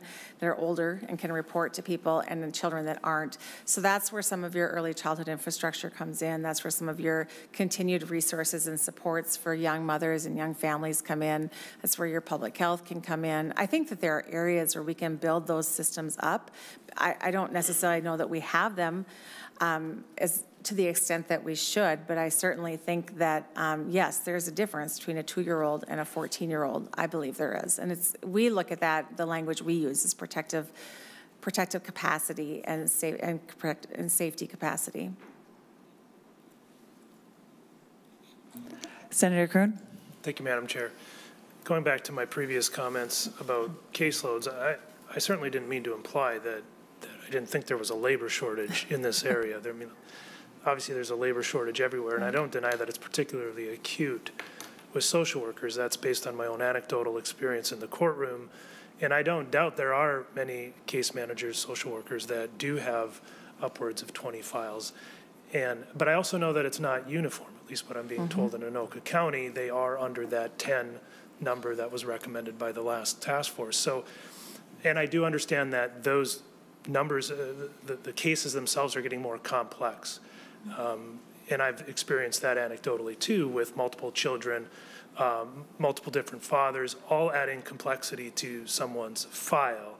And maybe there could be a better way to define what a file or what a case looks like, because I still think it's very valuable data for legislators to get their hands on, because you, you- we can talk about budgets or overall labor shortages, but that number to me is in the trenches. That's that case manager, how many files they have or how many children, if you want to say instead, that they're working with, really matters in terms of two things. One, turnover, because it's going to lead to burnout. And if you're having a turnover problem, that's a big part of it. But two, making better decisions, getting to know that their, their files um, on a more personal level, if the fewer they have, obviously, I think they would be making better decisions in that. And so, you know, I, I, it's, it's data that I think um, is important um, that I would like to see. And if, if we can help define that, um, I think that might be helpful. Um, and then it also leads to something you said that early on in your presentation, you said um, that you would like to see uh, more of a state investment in what you called uh, infrastructure. Could you elaborate more on what infrastructure means to you for the state's role in particular, um, how you would like to see assistance in that regard? Okay. Go ahead. Uh, Yes, thank you, I can. Um, So I think Family Resource Centers, that's a fantastic um, process, like Scott County has done it, other counties across the state are starting to do it, but not all counties have the capacity to do it on their own. So if the state were to bring in some ability to it, some assistance to help establish it, I think that a child who lives in Kittson County and a child who lives in Traverse County or Jackson County or Hennepin County should all have access to the same services, but they don't. They currently don't. There are lots of places where your, um, your mental health providers are far and few between, and the wait time is extremely long. There's, family resource centers aren't something we can even think about or talk about because we don't have planners and the capacity to, to do things like that because we're too small. And if you build them regionally, then they're, they're going to lose the impact because you really need local engagement and local impact for those. Um, I think that some of the services that, like chemical dependency services, how fast you get an assessment, where your outpatient treatment is, all of those kinds of systemic things, um, the services that we're recommending people do before they get their kids back, sometimes the access and availability is extremely far away. Lo- Look at a parent who might be struggling with mental health, and so you say partial hospitalization would be a really great thing for you. Well, the, the closest partial hospitalization for some of my locations is two to three hours away. That's not a reasonable thing. It's just not a reasonable thing. Same with children with disabilities, same with children with mental health issues. Um, the services that we really need to serve them are so far away. The gap in services is so huge that they're not, the access isn't there. So some of those things that they were invested on at this, on a statewide level, you would, you would have more equitable access, I would hope. Senator Hoffman? Oh, One follow-up. Senator Kreun? Thank you, Madam Chair. Um, I appreciate that um, elaboration on that. And going back to kind of turnover again, um, I think that is crucially important. My observation is that sometimes if I represent a client for multiple years, which is usually how it works in my volunteer capacity, I'm the only constant in that equation, uh, whether you're talking about the social worker, the county attorney, the guardian ad litem, the judge, everybody else kind of comes and goes. But particularly with these social workers, um, the continuity is incredibly important once they get that relationship established with the child um, and understand the unique situation that they're all in. Um, that continuity is, is, is critically important. And I think getting to understand files on a personalized basis, the individual making good decisions. And so that leads me to my next thing, which is I heard a lot about uh, systemic racism, uh, disparities, and um, and certainly bias in reporting is something that should be looked at. And I'm not trying to minimize any of those things, but I hope that um, when you're doing that, we're looking at these things without certain directives, explicit or implicit, so that you end up with a situation where children, um, minorities, are actually less protected than their counterparts because of pressure to minimize those disparities. And when I hear such an emphasis on those things, I do have concern over that. So you can respond or not respond. It's, thank you. Um, Ms. Hennen. I, I would agree that um, child safety is the first thing we look at no matter what, and should be, no matter what.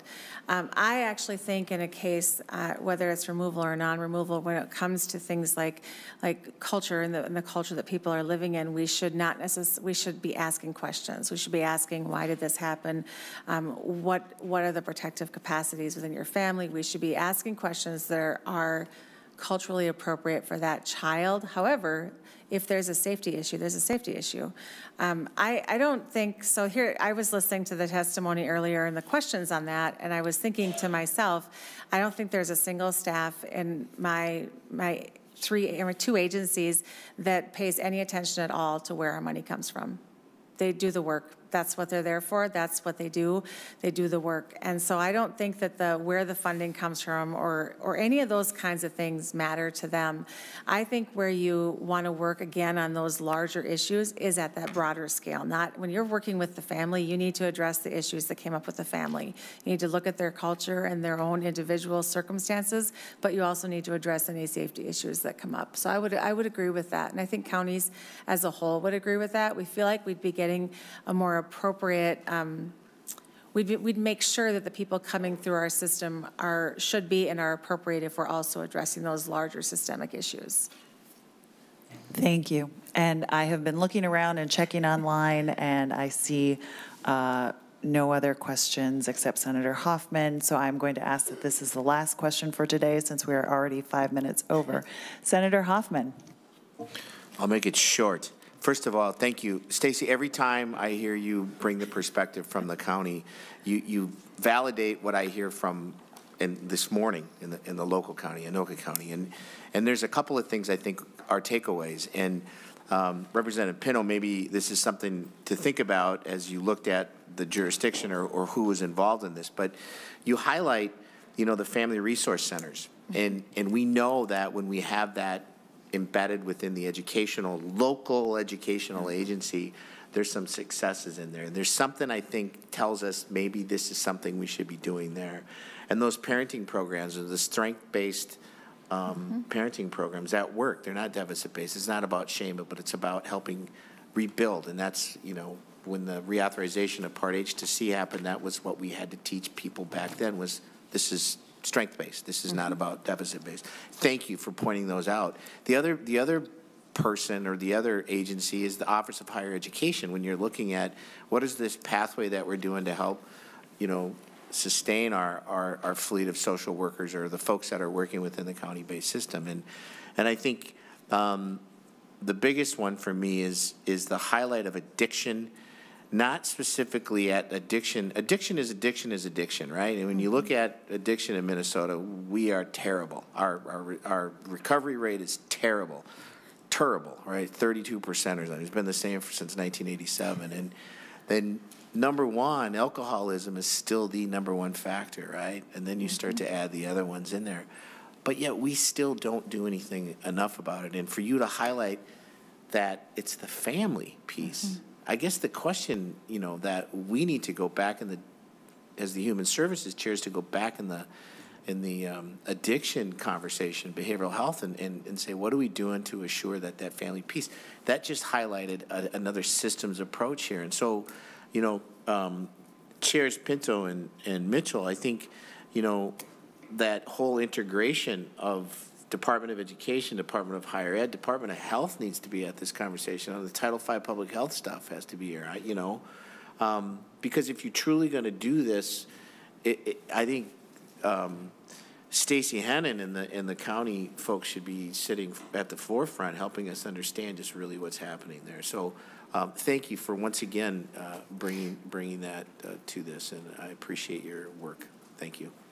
Thank you, Senator, and thank you, Ms. Hennen, um, both to you and to all the testifiers today for providing your expertise. Um, You know, our goal is to discover more opportunities from a legislative and funding perspective um, to make better outcomes for our children. Before we close today, I would like to uh, pass it over to Co-Chair Pinto, who will have the gavel next time. Yeah, thank you, Madam Chair, and thanks, um, members members of the public for being with us. So, um, so my goal with the task force, in terms of my role as co-chair, is to drive us toward, to take advantage of this um, increased attention on child protection, which, again, the whole reason Senator uh, Lead, uh, Leader Johnson and I want to start this in the first place was because of how little attention this area has gotten in the past.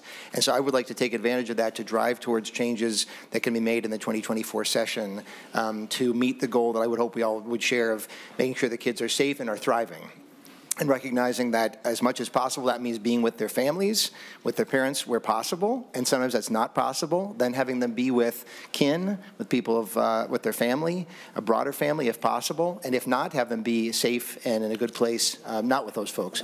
Um, so I just want to ask members of the public and anybody watching this, please give us your best thoughts and ideas, and members of the task force to be in touch with uh, the chairs as well um, as we push towards having uh, proposals that we can advance to the committees. I should note, I'm so happy to have Chair Hoffman on here because child protection um, issues will pass through Senator Wiklund's committee, and so glad to have her here, and through my committee in the in the House, but also through um, regarding chemical dependency, et cetera, issues that are overseen by Senator Hoffman and by Representative Noor as well uh, in terms of that. So please be in touch with us. I have a long list of, uh, of ideas that I was going to walk through if we were a little bit earlier in the agenda, but I'll just say, please, uh, everybody, let's bring our best ideas forward so we can uh, improve this system. Thank you so much, Madam Chair. Thank you, members.